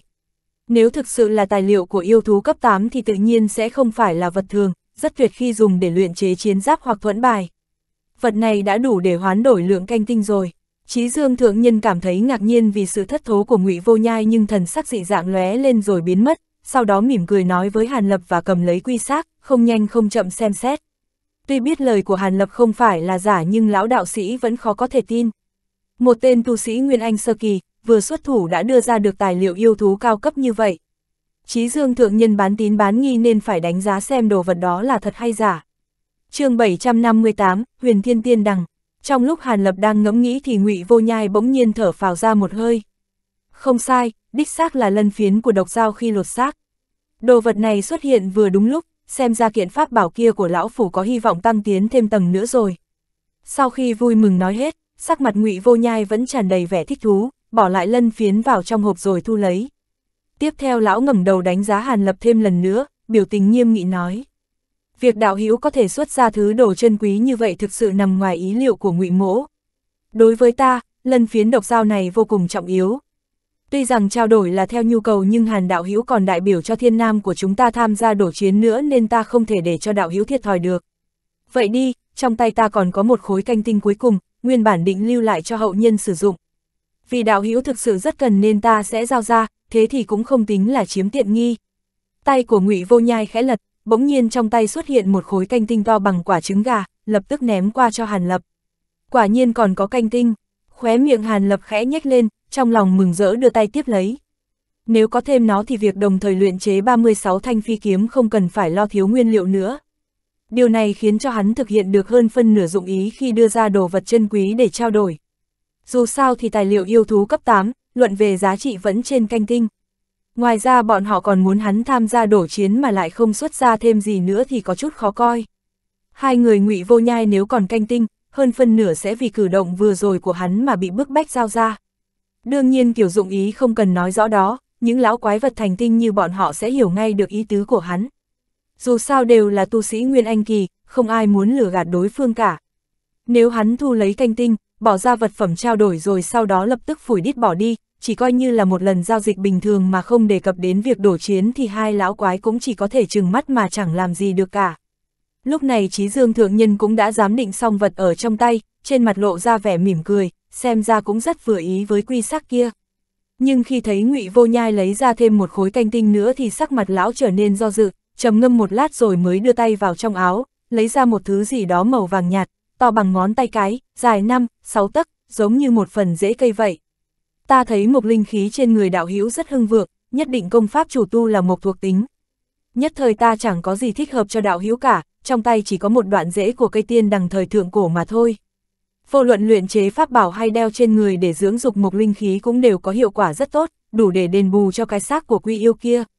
Chí Dương Thượng Nhân trầm giọng nói, Di, vật này là, ngụy Vô Nhai vừa thấy thứ trong tay của Chí Dương Thượng Nhân thì sắc mặt hiện ra vẻ ngạc nhiên, tựa hồ có điểm ngoài ý muốn. Hàn Lập ban đầu thất vọng nhưng khi thấy ngụy Vô Nhai biến sắc như thế thì hắn mới đột nhiên nghĩ tới một việc. Tiên đằng thời thượng cổ, chẳng lẽ chính là cây huyền thiên tiên đằng mà cả chính, mà lưỡng đạo đều muốn trộm thuần dịch để cứu sống hay sao? Hàn Lập nhìn vật trong tay đối phương, lộ ra vẻ cả kinh. Về phần trí dương thượng nhân thấy ngụy Vô Nhai nhận ra nó thì không chút ngạc nhiên, chỉ nhàn nhạt nói tiếp. Với thân phận của Hàn Đạo Hữu chắc cũng biết việc xuất thế không lâu trước đây của huyền thiên tiên đằng đáng tiếc chúng ta vận dụng các loại phương pháp đều không có cách nào cứu sống được nó. Cuối cùng chỉ có thể phân chia ra để làm tài liệu luyện khí. vật này chính là một phần tư của rễ cây tiên đằng đó. Do công pháp ta tu luyện là hỏa thuộc tính nên tuy nó rất chân quý nhưng lưu lại cũng vô dụng, không bằng tặng cho đạo hữu vậy. Chí Dương Thượng Nhân nói xong liền đưa cho Hàn Lập, huyền thiên tiên đằng, Hàn Lập tiếp lấy đoạn rễ cây màu vàng nhạt này rồi lẩm bẩm nói một mình, cảm thấy vô cùng bất ngờ. Hàn Lập đã đọc qua rất nhiều điển tịch nên tự nhiên biết huyền thiên tiên đằng là vậy gì và cũng minh bạch được việc vì sao tìm trăm phương ngàn kế để cứu sống nó. Cái gọi là tiên đằng thực chất chỉ là danh xưng mà thôi, phàm là loại đằng mãn linh căn dị chủng có nhiều chỗ tốt thì đều được gọi là tiên đằng cả. Thế nhưng huyền thiên tiên đằng lại không như vậy, chỉ có một số ít ỏi loại đằng mạn rất xa xưa mới có tư cách thêm hai chữ huyền thiên ở phía trước. Loại tiên đằng này xuất hiện từ thời hỗn độn lúc trời đất khai sinh, vô luận là khai hoa kết quả đều có thần thông không thể tưởng tượng được. Đây chính là loại tồn tại nghịch thiên, thế nhưng huyền thiên tiên đằng có bao nhiêu loại và thần thông gì thì theo năm tháng trôi qua đã thất truyền từ lâu. Hiện nay không ai có thể nhận ra được, về phần tu sĩ chính, mà lưỡng đạo có thể biết được cái dây leo chết héo ở trong động quật kia chính là huyền thiên tiên đằng, tất cả đều do phán đoán từ những lời lưu lại của cổ tu sĩ đã chết kia mà thôi. Ngay từ đầu cả hai bên đều xem nó như trí bảo, thậm chí còn vì tranh đoạt mà đánh nhau mấy trận long trời lở đất nữa. Sau đó cao tầng của hai phe xuất hiện, đưa ra quyết định trước tiên xem thử có thể cứu sống tiên đằng hay không rồi mới nói tiếp. Dù sao nếu có thể thành công thì việc khai hoa kết trái không biết là sự tình bao lâu, mất vài chục vạn năm cũng không phải là điều kỳ quái. Vì thế hai bên đều tìm đủ mọi cách, trước tiên là dùng kỳ công bí thuật, sau đó dùng linh thủy linh dịch, thậm chí còn chú ý đến thuần dịch của thánh thụ ba phái Lạc Vân Tông. Nhưng tất cả công sức đều đổ sông đổ bể, tiên đằng thủy chúng vẫn không có dấu hiệu sống lại. Đến lúc đó cả hai bên đều mất hết hy vọng, sau khi thương lượng liền chia nó thành mấy chục đoạn rồi phân chia đồng đều với nhau. Như thế cũng không tính là vô ích một phen, mà chí dương thượng nhân thân là đại trưởng lão của chính đạo minh nên có tu sĩ muốn nịnh bợ, lấy lòng đã hiến dâng cho lão một đoạn. Về phần ngụy vô nhai có thể nhận ra là vì lão cũng có một bộ phận của tiên đằng nhưng chỉ một khúc nhỏ mà thôi. Cũng không biết vị tu sĩ nào cửu quốc minh hoán đổi được rồi sau đó rơi vào tay của ngụy vô nhai. Không có cách nào cứu sống huyền thiên tiên đằng nên phân chia thành nhiều đoạn, nhiều nhất cũng chỉ có thể trở thành một loại tài liệu đỉnh cấp, do đó giá trị của nó trong con mắt của trí dương thượng nhân giảm đi rất nhiều. Danh tiếng tuy lớn nhưng vẫn không được lão coi trọng, huống hồ nó có thuộc tính mộc mà bản thân lão thì tu luyện huyền công thuộc tính hỏa, bỏ thì thương, vương thì tội nên không suy nghĩ nhiều đã xuất ra giao cho Hàn Lập. Ngụy Vô Nhai lúc này cũng hiểu được suy nghĩ của Trí Dương Thượng Nhân, biểu tình ngoài ý muốn nhanh chóng biến mất. Dù biết lai lịch đoạn dễ trong tay nhưng trong lòng Hàn Lập không chút vui mừng, hơn nữa còn thất vọng. Hắn hiện tại không thiếu tài liệu luyện khí đỉnh cấp mà chỉ hy vọng có được càng nhiều canh tinh càng tốt mà thôi.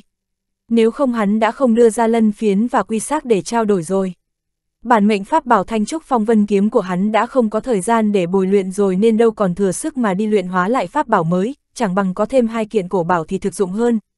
Xem ra trong tay trí dương thượng nhân thực không còn canh tinh nữa, nếu không lão cũng không đem bảo vật chân quý như huyền thiên tiên đằng ra cho đâu. Cho nên Hàn Lập không nói nhiều nữa, trực tiếp lôi ra một cái hộp ngọc, bỏ đoạn dễ tiên đằng vào trong.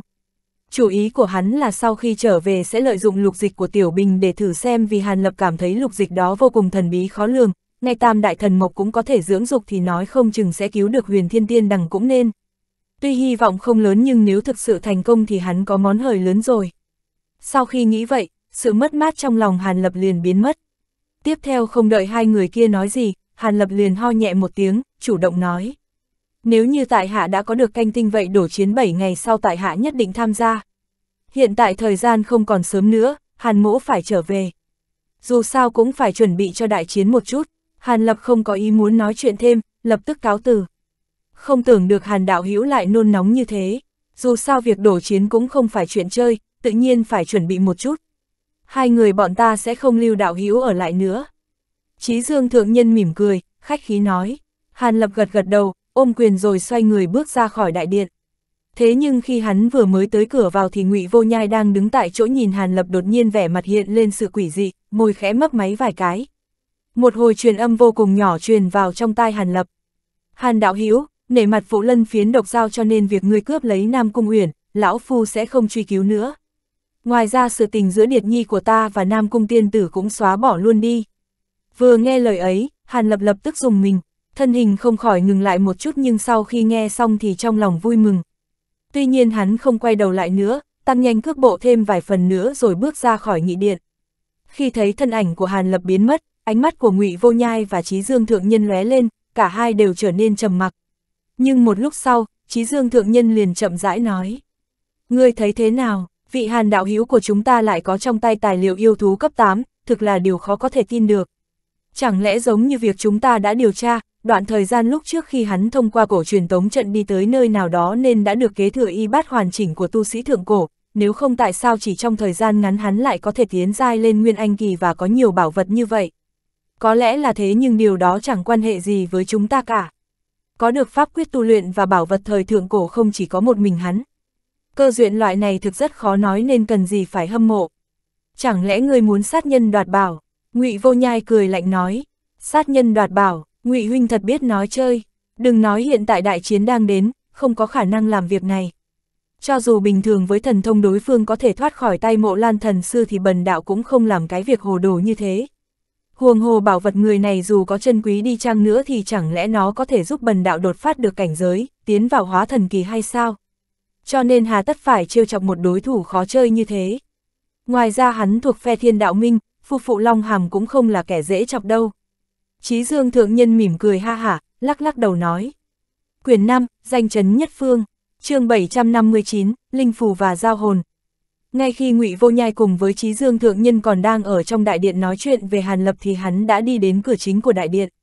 Nhưng có một việc làm cho hắn cảm thấy ngoài ý muốn chính là khi ra tới bên ngoài cửa điện thì hắn nhìn thấy Đồng Huyên Nhi. Không biết nàng ta rời khỏi điện bên bao giờ mà hiện tại đang cúi đầu đứng ở đó, dường như đang nghĩ đến việc gì. Tu sĩ canh cổng biết nàng ta đi cùng với vân lộ lão ma nên mắt nhắm mắt mở, để cho nàng ta đứng ở ngoài cửa điện mà không ai hỏi tới. Khi Hàn Lập vừa đi ra thì Đồng Nguyên Nhi cảm ứng được nên ngẩng đầu nhìn một cái. Ngay khi thấy được Hàn Lập, sắc mặt nàng ta tê lộ ra vẻ cổ quái, tựa hồ không biết phải làm gì, ngoài ra còn thấy phảng phất bộ dáng hơi ganh ghét. Điều này làm cho Hàn Lập không hiểu gì cả, tuy vậy nhưng hắn cũng chẳng có gì để nói với nàng ta. Sau đó Hàn Lập làm ra vẻ như không thấy, đi lướt qua, chậm rãi đi tới một ngã tư đường ở phía xa xa. Còn Đồng Huyên Nhi thì vẫn đứng yên tại chỗ không nhúc nhích, khẽ cắn đôi môi đỏ mọng, nhìn chăm chú vào bóng lưng Hàn Lập không nói gì cả. Sau khi rẽ, cảm thấy không có ánh mắt nhìn tới nữa, lúc này hai hàng lông mày của Hàn Lập khẽ nhíu lại, lắc lắc đầu. Chủ nhân, người quen vị nữ tu sĩ kia, trong đầu truyền đến lời nói khó hiểu của Ngân Nguyệt, ừm, đó là một người quen cũ lúc trước nhưng quan hệ không được tốt cho lắm. Hàn Lập thờ ơ trả lời, có đúng như vậy không? Nhưng tiểu tỷ nhìn biểu tình của nàng ta thì dường như quan hệ giữa hai người không phải tầm thường A. Chẳng lẽ là năm đó chủ nhân có gì đó? Ngân Nguyệt cười hì hì nói được một nửa còn nửa câu sau thì cố ý lấp lửng.